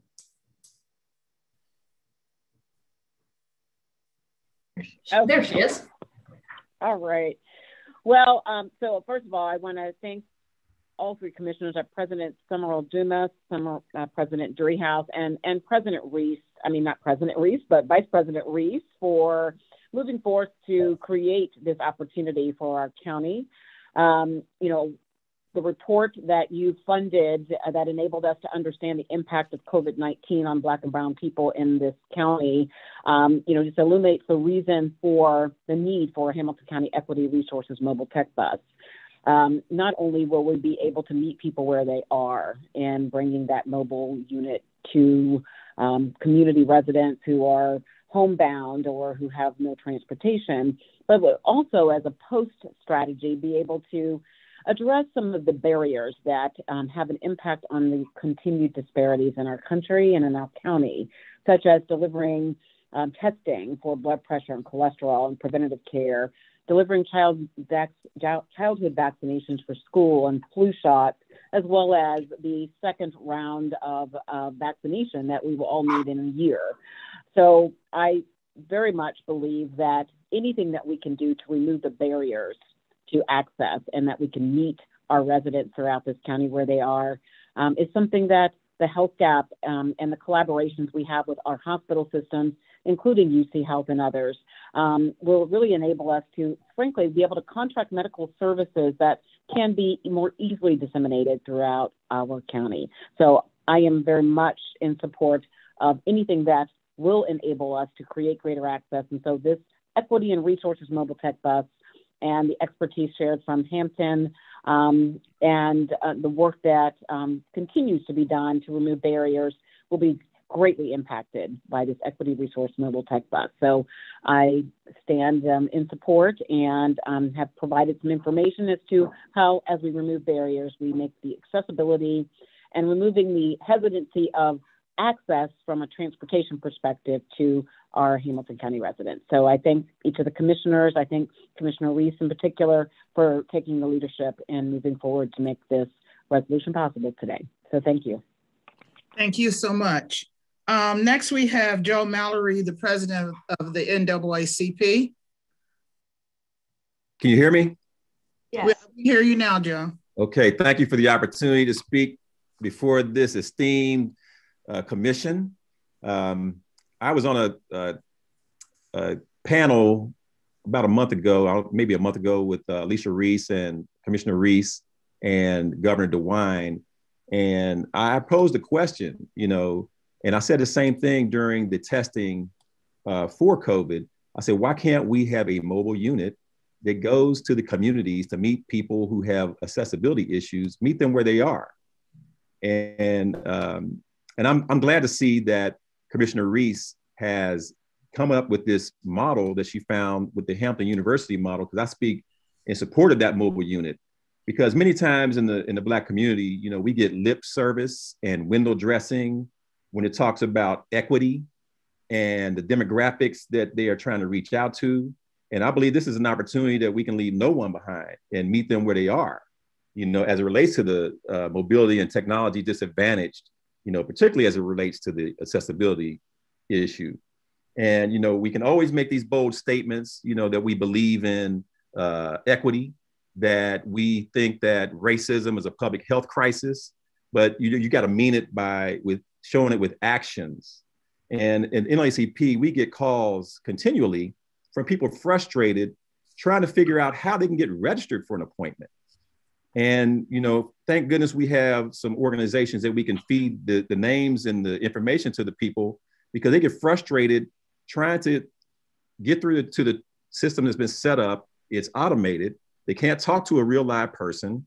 And there's, I know, I know that we were kind of like uh, building this airplane as we were flying and things were kind of in flux, but there's frustration because they also say in the Black community, uh, a lot of Blacks didn't want to get the shot there was apprehension, there was skepticism, but the problem was a supply problem.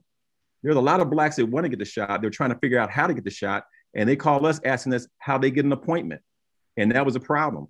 Some, a lot of them have uh, issues with transportation, And then when they get frustrated, you know what they'll do? They'll give up. They will give up. And I think it's a time that this this type of opportunity for the Hampton University model, those type of resources being expended, you know, for that particular model is not too much to ask. You know, it will be significant and it will be transformative because, you know, a lot of times we talk about price tags, we can't afford it, or, you know, let's just give you a band-aid, you know, we'll give you uh, a station wagon or a, a, van and go out to the communities and and oh well they didn't show up you know we didn't get a lot of you know a lot of support and a lot of people showing up this this model will last and it could be used for multiple purposes to address these barriers that exist you know in the community so i don't want to take up all your time you know thank you for the opportunity to speak i am speaking as the president of the cincinnati naacp and i believe that this this will be a message that you will send that you are listening to the least of us out here in the underserved and the under resourced community. Thank you. Thank you, Joe. Um, and now we have uh, Aaron Brown. I believe he's a council person uh, in Lincoln Heights. I could be wrong. Aaron, are you on? In Forest Park, council. council. Oh, in Forest Park, correct. Thank you. Can you hear me? Yes, we hear you now. All right. Uh, well, thank you, commissioners, for allowing me the opportunity to speak today. Uh, thank you for the invitation, Commissioner Reece, and um, thank you to, to uh, Joe Mallory for even the, the nugget of this idea. Um, as mentioned, my name is Aaron Brown. I am a uh, city council member in Forest Park. Obviously, I'm not speaking on behalf of the, the city, but I am speaking about uh, on behalf of myself as a citizen and resident in Hamilton County. Um, just to echo a lot of what has been said today, I think the accessibility of a, of a bus would be um, paramount to making sure vaccine gets directly to people. I know there is a, a level of skepticism in um, underserved communities when it comes to uh, the medical institution. However, uh, we know that COVID is not the flu. We know that even though people are being vaccinated and things are opening back up, um, there is still a need for people to be vaccinated. And I know in particular in Forest Park, um, the accessibility and capacity piece uh, of this this uh, mobile bus is is very important, considering um, its direct engagement to the people. Um, Forest Park is predominantly African American, but it's also very diverse. We have uh, people from uh, Nepal, so there's a very robust Nepalese community, and there's also a lot of people from um, South American countries and Central American countries like Mexico and Guatemala. So I think um, reducing barriers like um, uh, if people may not have are able to get into their primary care physician, having a uh, an additional piece um, like a bus um, that can get directly to people is, is supplemental. And a lot of times, uh, people think they necessarily uh, equate the the suburbs with affluence, um, and they might focus resources towards inner city communities. But we have to we have to realize that um, poverty is out in the suburbs as well. Um, but then also, um, there are county-wide resources that can be extended to communities just like Forest Park. So, but I think the one of the most important and kind of overlooked uh, parts here is the educational piece, um, because there are still funding that the county has um, from the CARES Act that we can inform people about, like rent and utility assistance through things such as the bus. So if they're not able to get to um, if they're not able to get down to you know community action agency or something, um, pamphlets can be uh, distributed on the bus while people are getting informed and tested and vaccinated for COVID. So uh, I think it just has to be a, a very holistic approach. Um, but once again, I, I just want to thank everybody for the opportunity, um, and I'm in full support of this uh, uh initiative. So thank you. Thank you so much. And I have Susan Biltz Susan, are you on the line? I am. Good afternoon, commissioners. Um, I would like to thank all my uh, speakers before us because basically they summarized pretty much everything I have mentioned. I'm a teacher of 32 years. I've been blessed to teach in several neighborhoods, including Corryville, Price Hill, and the West End. And this year, more than ever, we have seen firsthand how neighborhoods with limited accessibility to healthcare and other resources could benefit from a mobile tech bus as the one Commissioner Reece is proposing. Many people in the Black and Brown communities have confided in me that they need more education about the current COVID vaccination. They are fearful about it. Many of my students have told me this. Or they, there isn't enough opportunities or accessibilities when they are interested to get the shot in several neighborhoods. They, as mentioned before, difficulty in registering has been an issue, or again, lack of transportation to get to the much needed healthcare opportunities. This mobile tech bus could help educate many neighborhoods, provide Wi Fi to access much needed resources, and train healthcare professionals, as well as expose our neighborhoods to job opportunities in healthcare. And as mentioned before, you know, give the COVID vaccinations and screenings. The biggest obstacles many educators and city agencies have found is there are communities that lack transportation, Wi Fi to enable people to get connected to the resources such as healthcare, people are in need of aid for paying utility and food bills, and they are requesting education to calm people's fears during this pandemic and providing screening opportunities and COVID tests as well. I think this mobile unit could be a godsend to many communities who could benefit in many ways. We all know if we want people to come out, you bring these units to the churches and to the schools. Some schools have clinics, others don't. The fact that Kroger has agreed to partner with this program is phenomenal. We have found during COVID, groups such as Grandma's Kitchen and District 3 have partnered in delivering food and other much needed resource to, to the communities who have limited transportation. We went to them. We have done so much as a city and a county, but we can do so much more. And this mobile tech bus can complement the smaller units we already have. Thanks for all of you that you've done so much for our city and our county. We are thankful for one family in particular, when they had nowhere else to go, I came to you and you two of the commissioners stepped up and helped us get them the resources they needed to pay their bills and provide their food. A mobile, a mobile unit could continue to bring many of our families these much needed resources. Thank you for your time. Thank you so much. Um, we have Viola Brown, if she's on the line.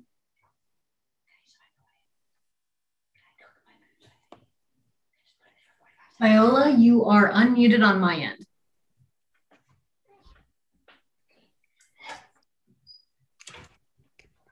And it looks like you're unmuted.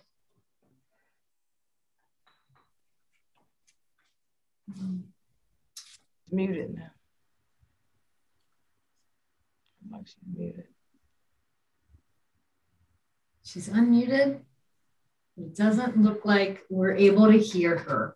And then finally, I'm not sure, we have one more phone number on the line. It's uh, 717-790-2919. Um, would you like to uh, speak to the board? I've just unmuted you on my end.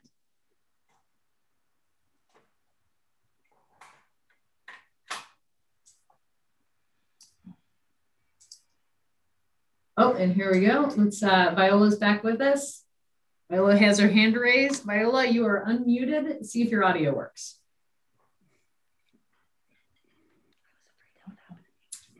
Yeah, unfortunately, I don't think it works. Hmm. We don't see her on the, oh, there she is. Corner. Sounds like I hear some. Um, Viola, would you like to put something in the chat since we can't hear you? And we can go to the commissioners and then you can come up after we're done.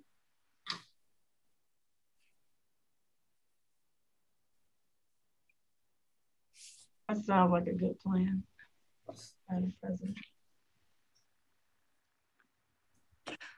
Okay. Um, well, Bridget, let me know if she comes back up. Um, Will do. Okay. Um, Can you hear me? Oh, yes. Now we hear you. Yes. Uh huh. I do apologize. Thank you very much for your patience. Oh, that's uh, okay. First of all, uh, hello, my name is Viola Brown, and I will be speaking on behalf of the seniors. Um, I'd like to thank the Board of Commissioners for hearing me. And uh, basically, I would like to reiterate that the COVID 19 One Stop Resource Mobile Tech Bus would be very beneficial because seniors are often neglected when it comes to having the availability or resources to participate in or receive certain services. Uh, some of our seniors even have a fear of going out in the public. And having this mobile bus can alleviate the stress and concern of these seniors, as well as provide meaningful health care as a convenience. Uh, Commissioner Reece, along with all others, will be helping to ensure that tools are used to reach and meet those in our community by educating and providing a much needed service. We desperately need this bus to make a difference. So I'd like to thank you for your time. Thank you so much, Ms. Brown. You're welcome. Okay. I don't see anyone else. Um, do you see anyone else, Bridget? Uh, I do not, except for this telephone number, but it does not seem like they're unmuting on their end. Okay. So I believe we are, uh, public comment is finished.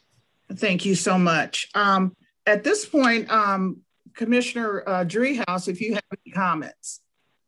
Thanks, Madam President. Thanks to all those who spoke um, this afternoon. It's it's very helpful to hear from the public on all things. Um, so, I, you know, this um, bus um, idea is one that was brought forward, um, I, I guess, a couple weeks ago I, I, we didn't have a formal document in front of us, but we had heard the idea. And so um, my initial blush was, wait a minute, we're already doing this. Um, you know, because we have been working on this issue of equity uh, for a while now because we know what has been said by all, which is that COVID 19 has not been fair when it comes to um, the death count and those impacted most by the virus. And so we um, last year wanted to try to work on this issue and bring some equity um, to our testing efforts and our distribution of vaccine efforts. And so in November, we purchased three vans, as we all know, um, through the Department of Public Health. And uh, that was through our CARES Act dollars. And those vans were intended to go distribute vaccine to um, pop-up sites, brick and mortar pop-up sites primarily throughout the county in areas that were hard to reach and, and also areas that had seen a very high rate of COVID-19. And so that was primarily their function. Um, one of them then was utilized a few weeks ago as a pop-up outside of a brick and mortar. We, we did the pop-up literally outside the van. They have awnings on them, so they're capable of doing that. And um, some vaccine was distributed uh, through that mobile unit. And so, um, you know, we have made that investment, you know, uh, Commissioner Kesterman is careful about where those vans go. And so that was my first blush response to this. And also our equity numbers um, were the second best in the state that is not to say that we're doing great. It's, it's around 14% of African Americans are getting the vaccine. But it is true to say, and, and Commissioner Reece showed the slide where if you just open up a system and allow people to um, go and try to get vaccine, you know, there, there are many distribution points, including the hospitals, the FQHCs, the public health departments, and there's inequity in that. There it's built in. And so you have to be intentional about this other piece. And so that's what we have been trying to do through public health. And so but as i've you know as this resolution has um, changed and it has uh, become more broad in the um, language around the use of the bus, um, I am reminded about the um, resolution that we passed last year declaring racism a public health crisis. And can see how this bus in its life now or you know immediate life but then beyond perhaps fits into the idea that we can do better whether it's um, health disparities or information related to economic development or, or, or whatever. I mean there there can be a life beyond just the vaccine distribution. And so um, and i and, and so i, I did um, offer some concerns about timing here too because it did take uh, public health i think it was a couple of months to get just these vans um, outfitted so that they could be mobile units and so there is a timing element here that um, I had raised as a question um, as to whether or not the bus would even be ready uh, in order to distribute vaccine as we continue to see, you know, the ramp up there. But the, from what I understand now and, and from what I read from the resolution, it is vaccine distribution and um, some of these other things that are listed out in the resolution. And so, uh, you know, I'm inclined to support this because I think um, the long term vision is something that fits in with um, the direction this commission is headed in, and I think, frankly, the direction that our, our county is headed in. Um, so I, I, have a couple of questions. Just they're not so much technical. Rather, um, I'm trying to understand kind of um, the broad aspect of the bus itself, um, because in the resolution there is some recognition recognition that there would be partners that would be engaged here um, as the bus is utilized throughout the community. And so, and, and this, and the bus also will not be um, under the purview of uh, Hamilton County Pu Public Health or the City Public Health, rather something else. And so I'm, I'm trying to better understand that. Um, and so I guess this is a, um, a question for Commissioner Reece. So who would be responsible for operating the bus and really um, the overall, I guess, programming of the bus? Um, which entities would be in partnership and then literally the programming as it moves around throughout the community? Uh, first of all, thank you, uh, Commissioner Driehaus, uh, for, for your work. And I think that one of the things we both agreed when um, obviously, you said this yourself too, um, we are number two in the state, and you were like, that's not good enough. We want to be number one. Um, and then as I've talked to the governor, you know, our state isn't even number one. So we're number one of a state that's not number one. So certainly the state, we both agree, has a lot of work to, to do. Um, when I researched this, uh, when it was brought to me by actually uh, NAACP President Joe Mallory, uh, you're absolutely right. I reached out to um, our health commissioner who's been doing a good job, and I under, now understand the structure of our health commission, which a lot of people don't know. Um, one, we don't control the health commission. We don't make any board appointments. Uh, it basically does a lot of arm of the state. Uh, unlike at the city of Cincinnati, where we appoint the board members, we control the budget. We have a lot more say when I was on city council. Um, and then there's jurisdictional um, uh, situation. So when I talked with um, Commissioner Kesterman about the uh, mobile vans that were purchased, the first thing I saw, they were purchased in November. Uh, but even in the presentation and even on Facebook, the first place that it went to, December 23rd of 2020, was the city of Reading.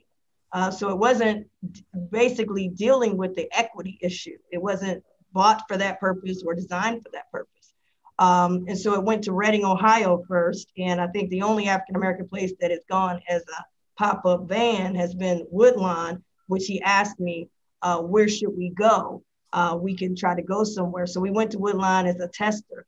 But one of the things that he indicated to me was, uh, where should I go? But I can't go. I have to, I can't go in the city of Cincinnati. That's exactly what he told me. So that was the first news to me because I didn't know. You know, I've been here about 60, 65 plus days. And I said, well, wait a minute, we're elected by the whole county. And then when I saw the data that uh, you presented at your briefing, and it showed English Woods and Winton Terrace, these very hard to serve areas. And then I got the call from Councilmember uh, Brown from Forest Park and said, hey, can we get the bus out there? Uh, and, you know, just kind of, that's kind of how it kind of got going. And so the thought was um, the administration asked us to keep it broad to give them flexibility uh, in the uh, resolution. Number one, I identified a place for the money. We had given $18 million to the Health Collaborative. Uh, they've only used 5 million. 13 million is still available. Um, my understanding is that they wanted to move into the vaccination. We got a, a memo from Jeff Aluotto, who's on here, that they wanted to repurpose 1.2 million to go toward vaccine coordination.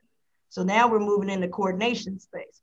So I thought, well, heck, if you're coordinating, what are you coordinating? And they said they were dealing with the equity issue. Well, if you're dealing with the equity issue, then you're coordinating. Why couldn't this bus be a part of that coordination? Um, it would allow us to be um, uh, countywide. Uh, it would allow us to have other partners that come in, like Kroger's that's ready to come in, the health gap that's coming in, the urban league to come in. Um, but my understanding is that the administration said we wanted to write the resolution to allow them more flexibility. So we wrote it that if the, if it isn't the health collaborative, which I recommend, um, then maybe there's another entity that the administration may find. Uh, but that entity must be able to partner with the grassroots partners, the NAACP, the Urban League, the um, Health Gap, uh, all of the major players as it talk when we talk about grassroots equity.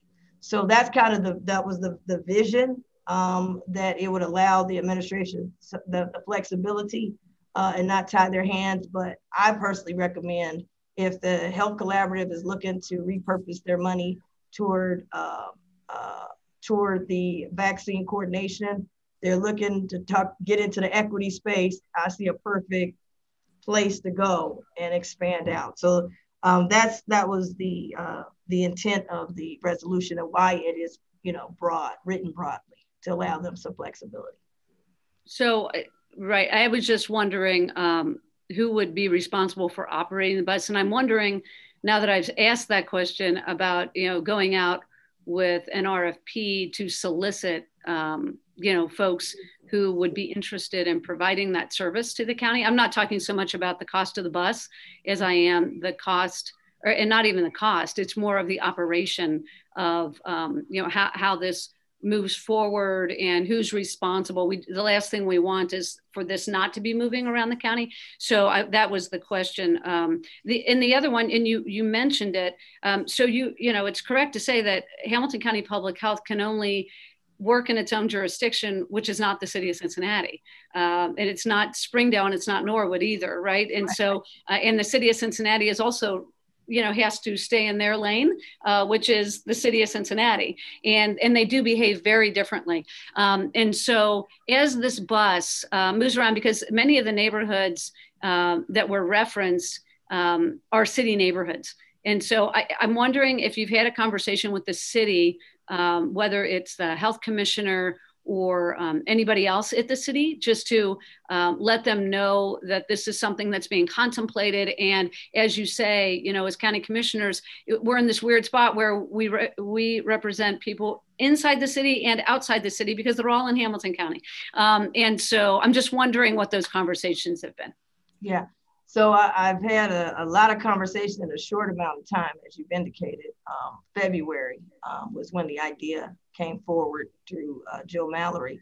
And we had to find the prototype, what was out there, what's available. And in that time, I've had lots of conversations, whether it's the CEO of United Way, CEO uh, Closing the Health Gap, the governor himself, whether it is the um, uh, Free Store Food Bank CEO, uh, the Urban League CEO, uh, NAACP president, and a number of other uh, potential part UC Health CEO, um, a number of partners in a short amount of time.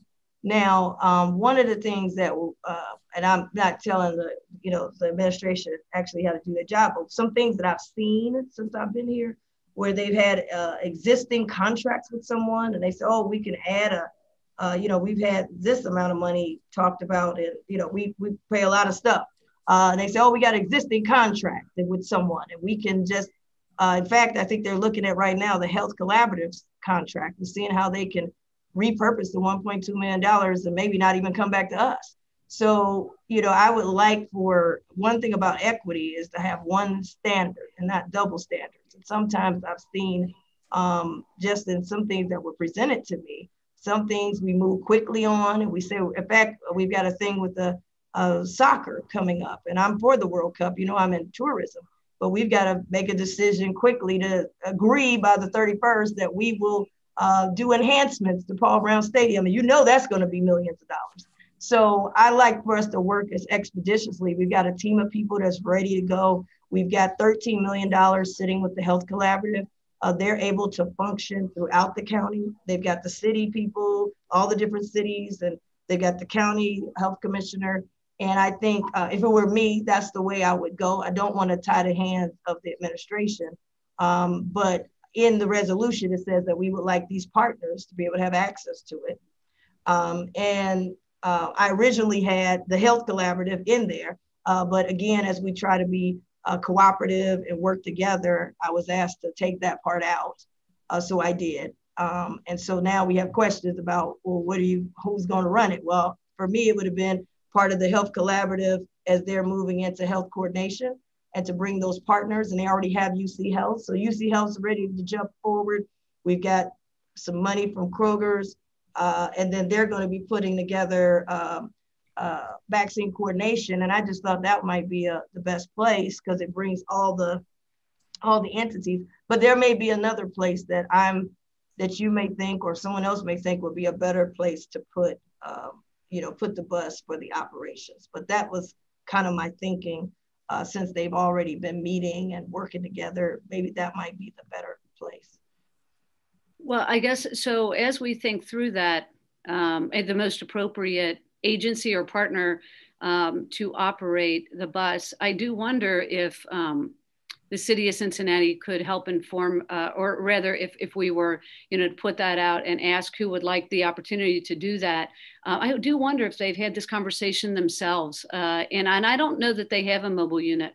Um, not not that I'm aware of. They they tend to operate out of their. I mean, they've got health clinics, they've got rec centers. They tend to be throughout the city, and so this issue of equity is uh, maybe I don't know if it's less relevant, but it's a little bit easier to address because they've got these smaller facilities everywhere. Whereas as a county, we just don't have that, and so we are working through community churches and rec- and, and senior centers and all that kind of stuff. Um, so I do wonder, and I and I don't know the answer to this. If um, maybe they've thought through a little bit of this too, and so if we were to go out and say, hey, um, who would uh, you know again like to respond to this opportunity? If maybe um, there are agencies or uh, partners that they've talked to that might jump at the chance to do that and, and respond to that. So I, I don't know. I'm just kind of thinking because so much of it, um, you know, it's as you say throughout the county, but a lot of what we've been talking about is really in the city. Um, I'd be curious to know if, if they have thought through any of that. And again, I, I no, no judgment because I don't, I don't know the oh, answer. Yeah. No, no, no. I think, I mean, I think those are good ideas. Um, I will say that I talked to the CEO of CMHA, and I have I mentioned I mean the the mayor of Cincinnati knows about this. So um, and I was told that the CMHA uh, and he's wanting to partner because these are some of his areas. Yeah. Um, but one of the things that he indicated was that it was mentioned by uh, the health uh, commissioner about a mobile, and it just you know obviously early on a mobile. Do you mean the city health commissioner? City health commissioner, yes. But the main thing I want to make sure is that we can hit the city because after this is over, after COVID, we still, I want to be able to go into Lincoln Heights. I want to be able to go into Woodlawn as well as these city, the city areas as well, be able to go into Norwood, be able to go into uh, these pockets uh, uh, wherever the need is. So I want to make sure wherever we put it, has the most flexibility. Uh, I also want to say uh, Dr. Penn Marshall has indicated that one of the things that they they've done, uh, even FEMA has uh, uh, they have a uh, opportunity through FEMA Mobile Five. Uh, they have fifty four thousand dollars that they get to vaccinate two hundred people per week. So this is this could really be something. Um, yeah, yeah, no, I don't, I don't disagree. I, I'm, I forgive me. I'm just more focused on the long term uh, because that short term, as people have said, you know, it's really hard to get a vaccine. But that's that's about scarcity. That's about doses. I mean, it's just been incredibly challenging for people uh, to get vaccinated, and, and that's mostly res- you know a result of not having enough doses for everybody because as you say people are interested in getting doses. We just need to have the capacity to do it. Um, and, and, you know we are um, partnering with cmha right now in some of their senior buildings with the mobile vans. So there's probably an opportunity there too. So i'm just trying to sort through um, the now of the um, vaccine distribution but also um, as importantly i think the long-term vision for who the partners are um, and to make sure that the operation is robust because we're making an investment here um, and i you know want to make sure that it is all that it can be and just try to um, get a better understanding of who all the partners are and who the operating partner will be in the future so i'll look forward to to seeing that come forward um, whenever it's available Thank you. Those are great, great. And uh, Commissioner Driehaus, you're talking about strategic implementation. And we certainly will be depending on our administration to look at the feasibility uh, if this passes uh, of how that needs to happen. Um, just a couple comments. Um, and I'll start out with saying, with all our getting, we need to get understanding. Of course, knowledge is power. So those of you that are listening, those of you that are writing a report about our meeting today as it relates to this issue, I just want to say loud and clear, uh, that this board has no disagreement as it relates to whether or not we need to provide equal access, whether or not diversity and equity needs to be the top of our, our mission, and also increasing vaccination. So there's no disagreement on this board as it relates to that. Um, and also, I want to say um, there's just a difference of opinion. And the difference of opinion is, and that's a great thing because that's why we have three commissioners and, and not one. And so the difference of opinion is whether or not, uh, for me, is this the best option? Whether or not this is most cost effective for the taxpayers of Hamilton County. So that's what it is uh, for me, but realizing the ultimate goal is to reach the Black and Brown community in a better and faster way. Um, but we have the responsibility, and I have the responsibility, not just as a commissioner, but as president of the board, to look at options, uh, to make sure that we're being cost efficient. Uh, the money is there to be able to follow through on this resolution. So that's not uh, even the point either. But um, as I said earlier, um, to allow our administration to look at what's the best way for programming, uh, have his staff look at look at that. Um, and I also want to let our public know that are that are listening and those that called in that there are other mobile vans, um, some equipped with the information uh, that was given earlier, like a mammography van or prostate van. So there are some of those out there that are larger. And then we have the smaller ones that were uh, mentioned earlier. So lastly, um, I would like to say that our goal uh, is the same. We know there's some, and I think um, Commissioner Driehaus, you just said about um, it's about the scarcity, scarcity of the um, vaccines being received. Uh, but it's so, you know, that's also very important. But it's so much more important to that. We know there has been, as we look at the affluent communities that have, uh, I think Madeira had like 65% of vaccinations already done. That's not okay. Um, so we need to get out there. We need to do it. We need to reach the people that can't get to us. And so it's an ultimate goal of this board to make sure that that happens. Um, and so those are the only uh, comments that I have as relationship to this. I just want the public to know, and I appreciate all the comments from the public that actually uh, you didn't have to fight for this, but it's good to fight for this. But we're all on the same page. It's just how do we make this happen? Okay, uh, that's all I have. Um, and, Madam President, can I also uh -huh. for the record, um, Nick Crossley, um, who is with our uh, Emergency Management and Homeland Security Agency, um, he also sent an email and said that this unit can also be helpful uh, for uh, medical assistance after a disaster. Um, mm-hmm. And so, with food, water, cleanup kits, and other life saving supplies, he also said that they could provide the uh, PPE uh, things to help get out to more people through the mobile bus. And I just wanted to um, to highlight that. And then lastly, I just want to thank um, thank you both for your consideration. Um, we tried to do as much research as we could. Um, we know that it's a short amount of time, and the time is dictated really by COVID. COVID is dictating the timeline. Um, and I do want to say that it's not to say what we haven't done is is is is uh, we we stop what we're doing, uh, but we also continue to find and search for other ways to continue to hit the goal. Um, and I think of people that were on today is because this is came this came from the people. This not didn't come from me sitting at my desk and say, "Oh, I want to do this," um, because as you know, I was working on the relief of. Uh, but this came from the community. And so um, I just wanted to, I wanted to give them the, the credit, um, not me the credit um, or any of us. So when they brought it, I said, let me try to work on it. Let me see if I can find something. And again, I want to thank Dr. Uh, Penn Marshall and Hampton University, uh, which is being nationally recognized for what they are doing uh, in, uh, in Virginia. So I just wanted to thank Hampton University as well. So thank you, Madam President. Thank you so much. And we need the voices of those who are being directly impacted and also those agencies and politicians that represent those people. Um, so at this time, uh, Vice President Reece, um, I'd like to allow you to make the motion uh, for the resolution? Yes. Um, hold on.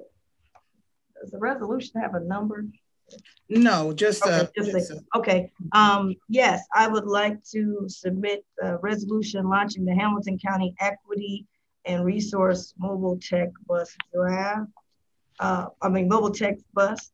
Um, and then I want to say, I guess I'll read the, the last part of it, um, if that's okay, or how do you want me to do? Sure, go on. Okay. Um.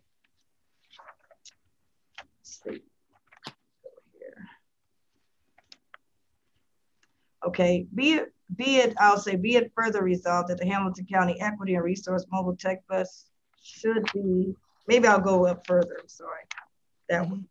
Now, therefore, be it resolved that the Hamilton County Board of County Commissioners does hereby approve the launching and creation of Hamilton County Equity and Resource Mobile Tech Bus. And be it further resolved that the administration is hereby directed to identify funding within the current CARES Act allocations to support acquisition of the Hamilton County Equity and Resource Mobile Tech Bus and develop an operations and maintenance plan for stewardship of the vehicle for three years.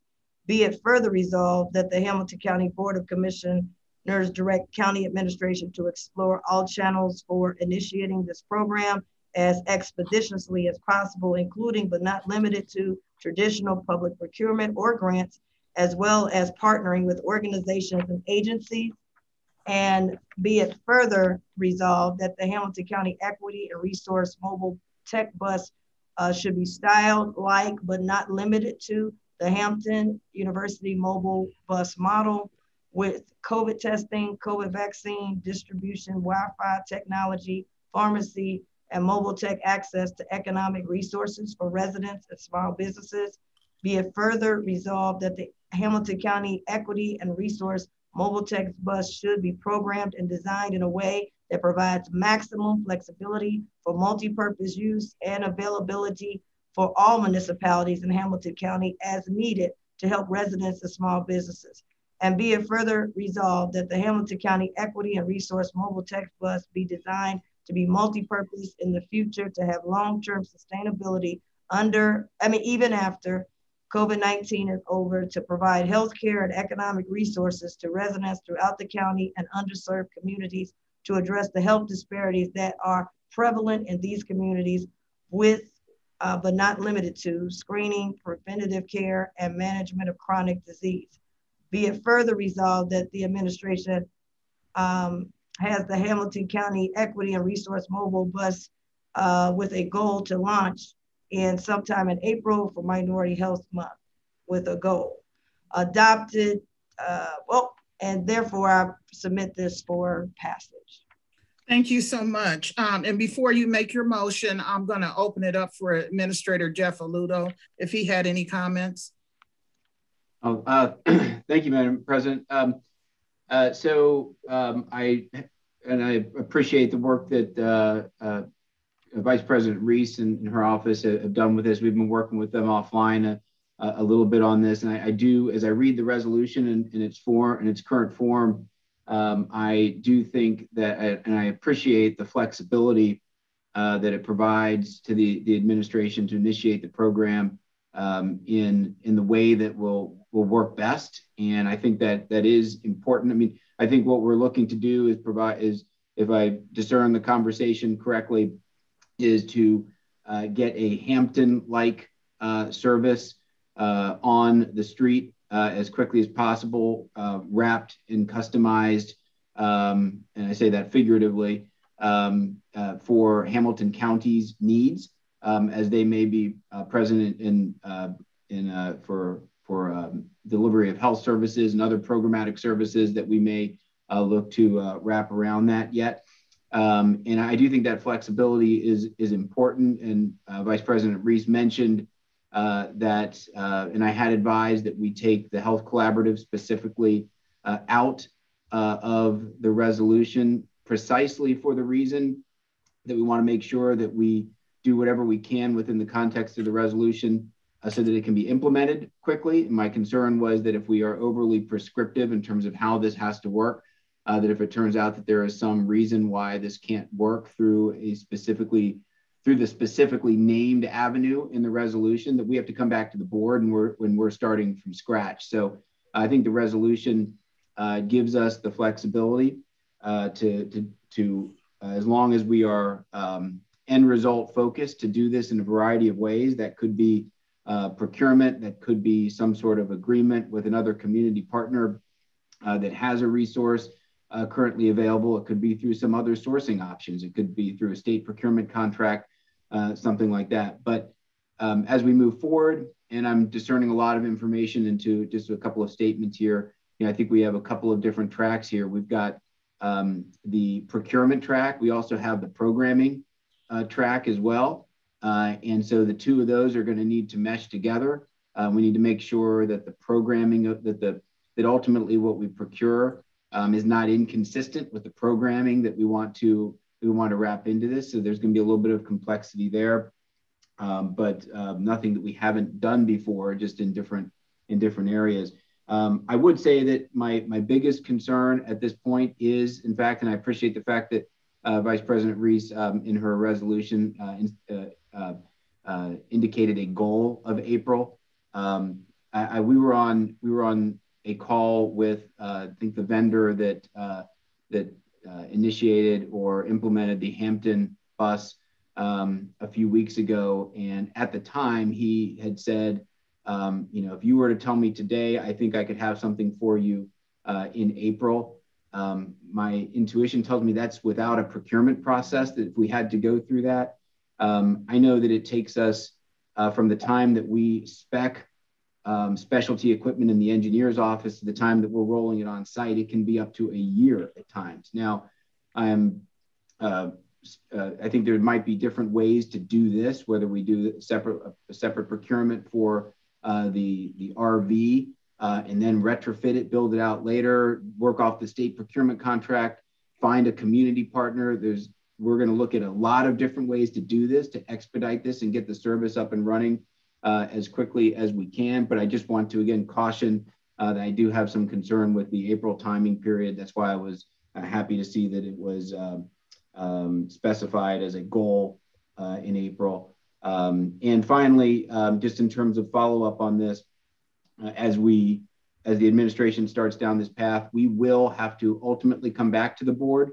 uh, on this, and that would be for the, at the time when we have a program together and we need to do the appropriation resolution, we need to do a purchase contract, et cetera, um, that will come back to the board at that point in time uh, for that. I'm sure the board expected that, anticipates it, um, but I just wanted to make sure that, the, uh, from this point onward that we were on the same page in terms of when that next touch point would be. I'll certainly keep the board apprised of how we are moving forward, but there, there will be additional formal action done, um, assuming that there is a procurement that would exceed my authority um, but that would come back to the board for appropriation and contracting. So I, I, just wanted to chime in on a few of those things, Madam President. So thank you for the deferral uh, and happy to answer any questions if, if I can. Otherwise, we will uh, we will follow up with the board as we move forward um, following the resolution. Thank you. Uh, any comments or questions as it relates to our administrator's comments? Okay. Madam President, I just want yes. to, I want to thank the administration. And I just think that our main focus here, I think um, the message, at least the intent of the resolution, is that we want this to move forward as a priority. What I don't want is that uh, what happened with the health cap, you know, win a bid in 2017 and then come back in 2021 and just get in the contract, or like we're doing with the um, with the disparity study. It was in July announced, and they said, well, some difficulties, so we're just coming back. I like to, one of the things about equity is having the same, uh, they call fire in the belly as we do uh, when we are doing other contracts, when we're doing port authorities or big deals or all these things that come and say, we got to go right now. Um, this is a right now thing because this is affecting people health right now. Um, so with however creative as we are with other things I've seen when we've been creative, and then I've seen some things when we haven't been creative. Uh, and so I just want to, I'm, happy to hear that the uh, that Jeff is saying that they're going to be creative with this. This is not a 2022 program. this is a 2021 program. Um, and that is, uh, you know, some of the things that you heard from uh, Joe Mallory, president of the NAACP, and the things that we're all fighting against when we talk about double standards. So um, I'm looking forward to it and turn over everything that I have uh, talked to uh, and would hope that, you know, if this is passed today, that a call is made immediately to the governor's people to get moving, to Kroger's to get moving, to UC Health that's ready to move, that does, like you mentioned, the mammography bus, they've got a bus, they're ready to move. Uh, so I just wanted to just make sure we understand that this is a 2021 project. Thank you, Madam and Madam President, I just mm-hmm. would say I, I, completely appreciate that, and we will explore uh, every option and pathway we have, uh, as, as we as we always do. Um, at the same time, I just want to caution that if the if the avenue that we have to go, especially if we find that the only pathway forward on this procurement is a traditional spec purchase and and and uh, bid process, that is a lengthy process. And I hope we can find a more uh, uh, strategic way around that and a different thing that we can do. I just, again, want to caution uh, that um, if, if that is the only way that we can do this and deliver what the board wants, the timing on that um, is a longer uh, term process. And we will do everything we can to expedite it. Uh, but I just, if I have to come back to the board later and say that we're on a, on a much longer timeline here, I, uh, I would rather have that conversation now and, and make sure the board understands that now uh, than have to come back later um, with a uh, saying, telling you something that I didn't mention up front. So that's my only reason for bringing it up now. Thank you. thank you so much. And, and, and we know, um, you know, this is a board priority. Um, and also I have, you know, I have faith in the administration that they will expeditiously go forward to do the things they need to do. And at the same time, safeguard uh, the fact that this is maybe a big ticket item and we don't want to uh, be in trouble not following the, the, the proper procedures. Um, and so um, I have also have faith that um, we'll look at the best option that can allow this to happen uh, if it's passed as quickly as possible. Um, so um, Vice President Reece, if you'd like to make a motion just reading uh, item four. Uh, yes, I, would like to. I didn't hear you. Just the title, please. That's all. Yeah. Mm-hmm. Right. Resolution launching Hamilton County Equity and Resource Mobile Tech Bus. Mm-hmm. Passage. Yep. Second. Commissioner Summerow Dumas? Yes. Commissioner Reece? Yes. Commissioner Driehaus? Yes. Okay, thank you. Thank you all. Thank you mm-hmm. so much. Can I also thank our staff because most yes. of these associations happened uh, with the chiefs of staff. So I, I personally mm-hmm. want to thank my own chief of staff and the other chiefs of staff. Yeah, I will also thank mine. Uh, so everybody worked together for the same purpose. So, and once again, I thank everyone who's still on the line that came in and uh, gave comments. So thank you very much. Thank you very, and thank you, Dr. Penn Marshall. Thank you. Mm-hmm. My pleasure. Thank you all very much for everything you're doing. Have a good afternoon. Thank you. Mm-hmm. Okay, uh, we have an executive session. Well, we got to. Oh, we got to go back to the resolution for the. Um, oh goodness, yes, we do. I'm sorry. Yeah, resolution number three, PO 41-21. Jeff. Yeah, so I, I think we now have uh, Phil Reed on on the line. Phil, um, are you there? Can you hear me? Yes, we can. Okay. There we uh, go. So I have... apologize very much for the earlier difficulties. Yeah, so I'm, I'm glad you're there. Um, so uh, just to go back, and I'm not going to entirely repeat uh, the opening uh, that I had given previously, um, but uh, just to indicate that we have a procurement uh, before the board. It came this past Thursday. Um, the uh, procurement was related to electronic monitoring services. Uh, that is a critical component of what we do in, in our county jail to make sure that we are uh, preserving that scarce and uh, critical um, uh, uh, jail space for the most serious offenders. Um, so the, the bids that came in, the recommendation from probation was to switch vendors this year. So we were, we were going down, starting the, where we would start to go down that process once the board uh, acts on the agreement. There were some questions that came up specifically regarding the award. Those questions mostly related uh, to issues of the allowance, uh, as well as some logistical issues related to the change out of batteries and the, and the operations of the individual units. So, um, Phil, you, um, would you like to walk the board through those two issues in particular? And uh, I do appreciate uh, Phil and Joanne Kramer from purchasing Uh, and the information they were able to provide over the past couple of days. But Phil, would you like to walk the board through those two elements? Absolutely. When we put out the invitation to bid, there were eight companies that put in bids, and we narrowed it down to three. Three companies came in with a presentation, and the first company was Attenti. They came into their presentation, and prior to that presentation, I had questioned them about their bid and the allowance for the lost stolen equipment.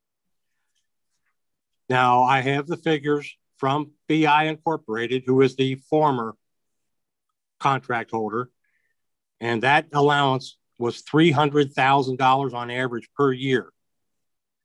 Attenti, in an answer to an email I sent, told us that they had a 10% equipment allowance, lost stolen equipment allowance.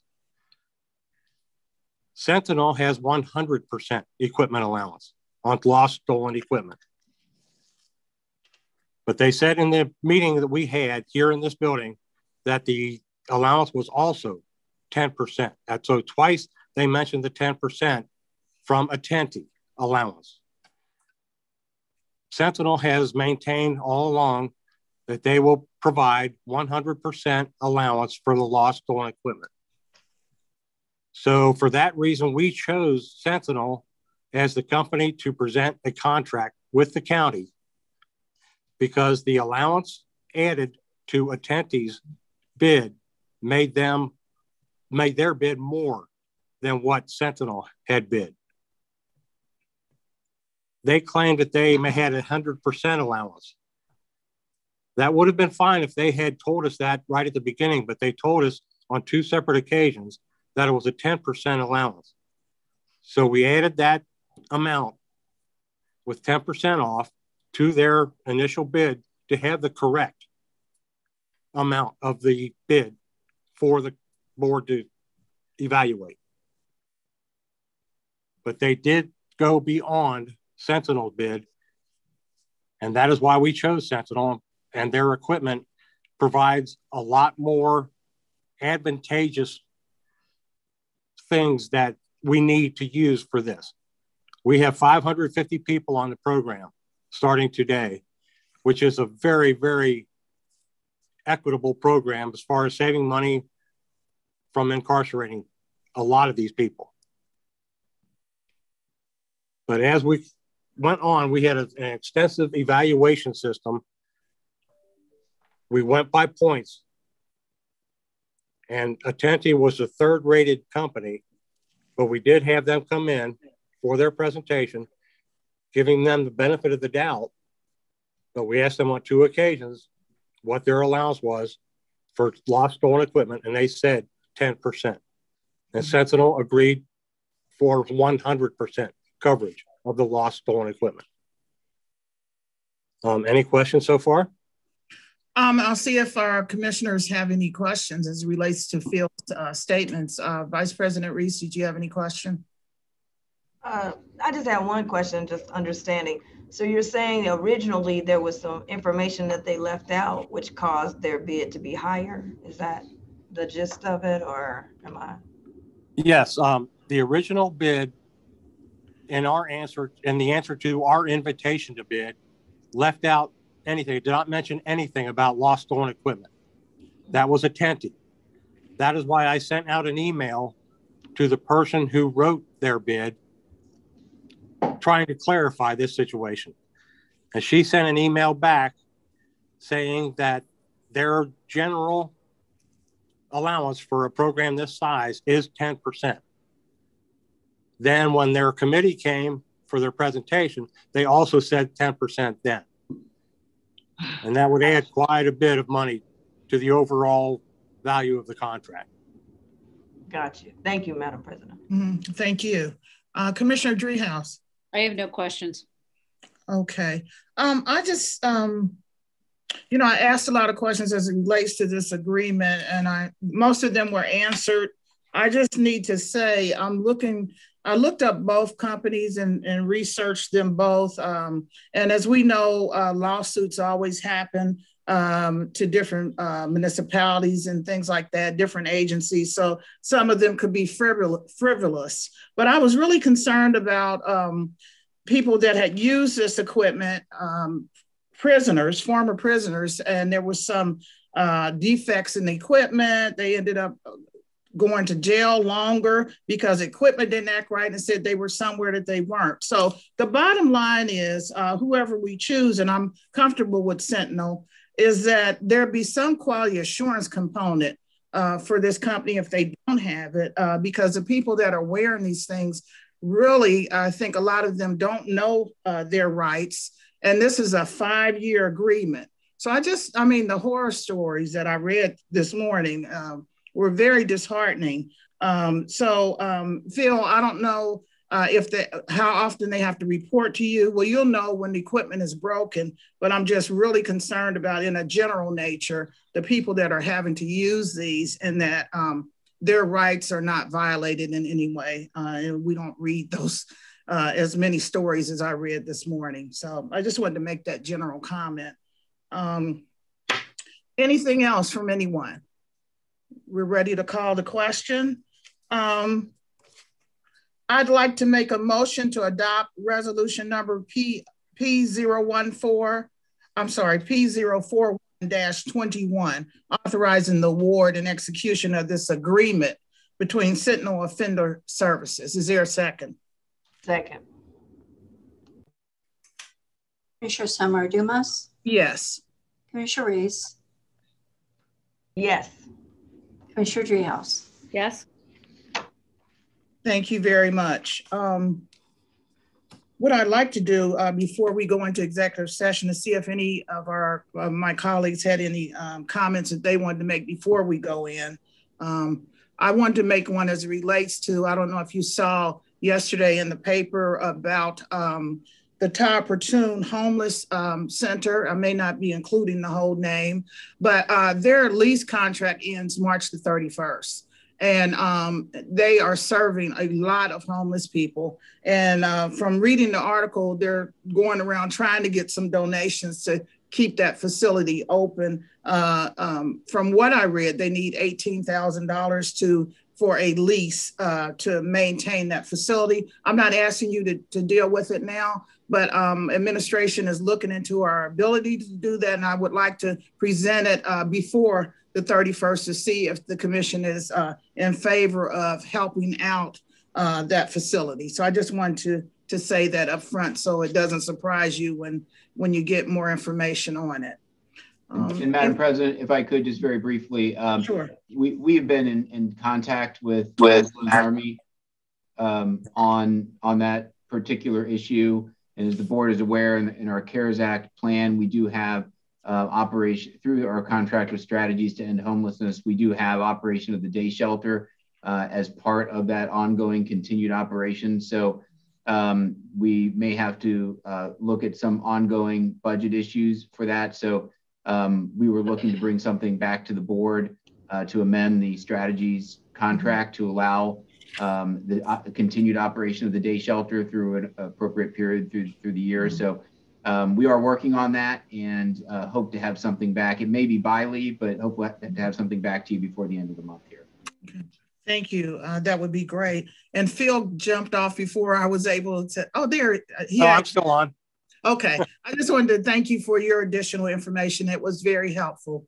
Thank you. And reference your comment, Commissioner. Uh, yes. we are very, very careful not to violate people's rights.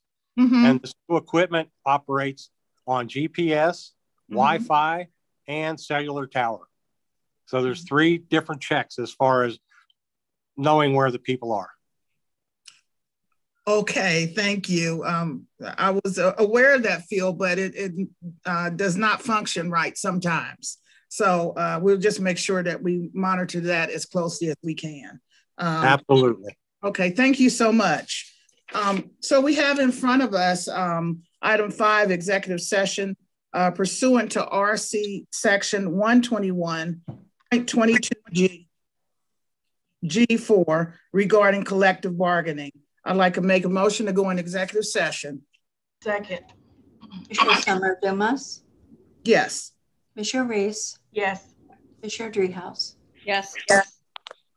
Thank you. Thank you. Got an echo.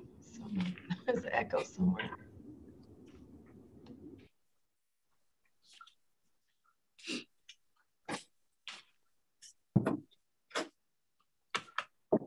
Oh, boy, boy, boy. That's Hang one second while we um, clear the other side. One second. Hi, Brett. Hello there. Good afternoon. Good afternoon. I don't know how you do this. And there's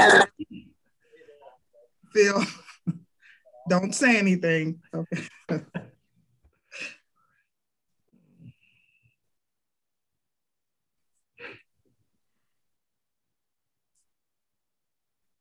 Okay. Um, Phil, are you staying on for this?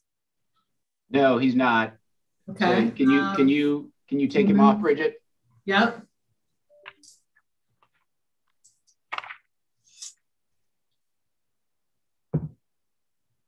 Frank, I think we have you on. You're on a video. You're on twice. You're on an attendee as well. Can you go ahead and say something to make sure it's you? Unmute on your end. I, I think I'm unmuted now. Yep, you are. Okay. I'm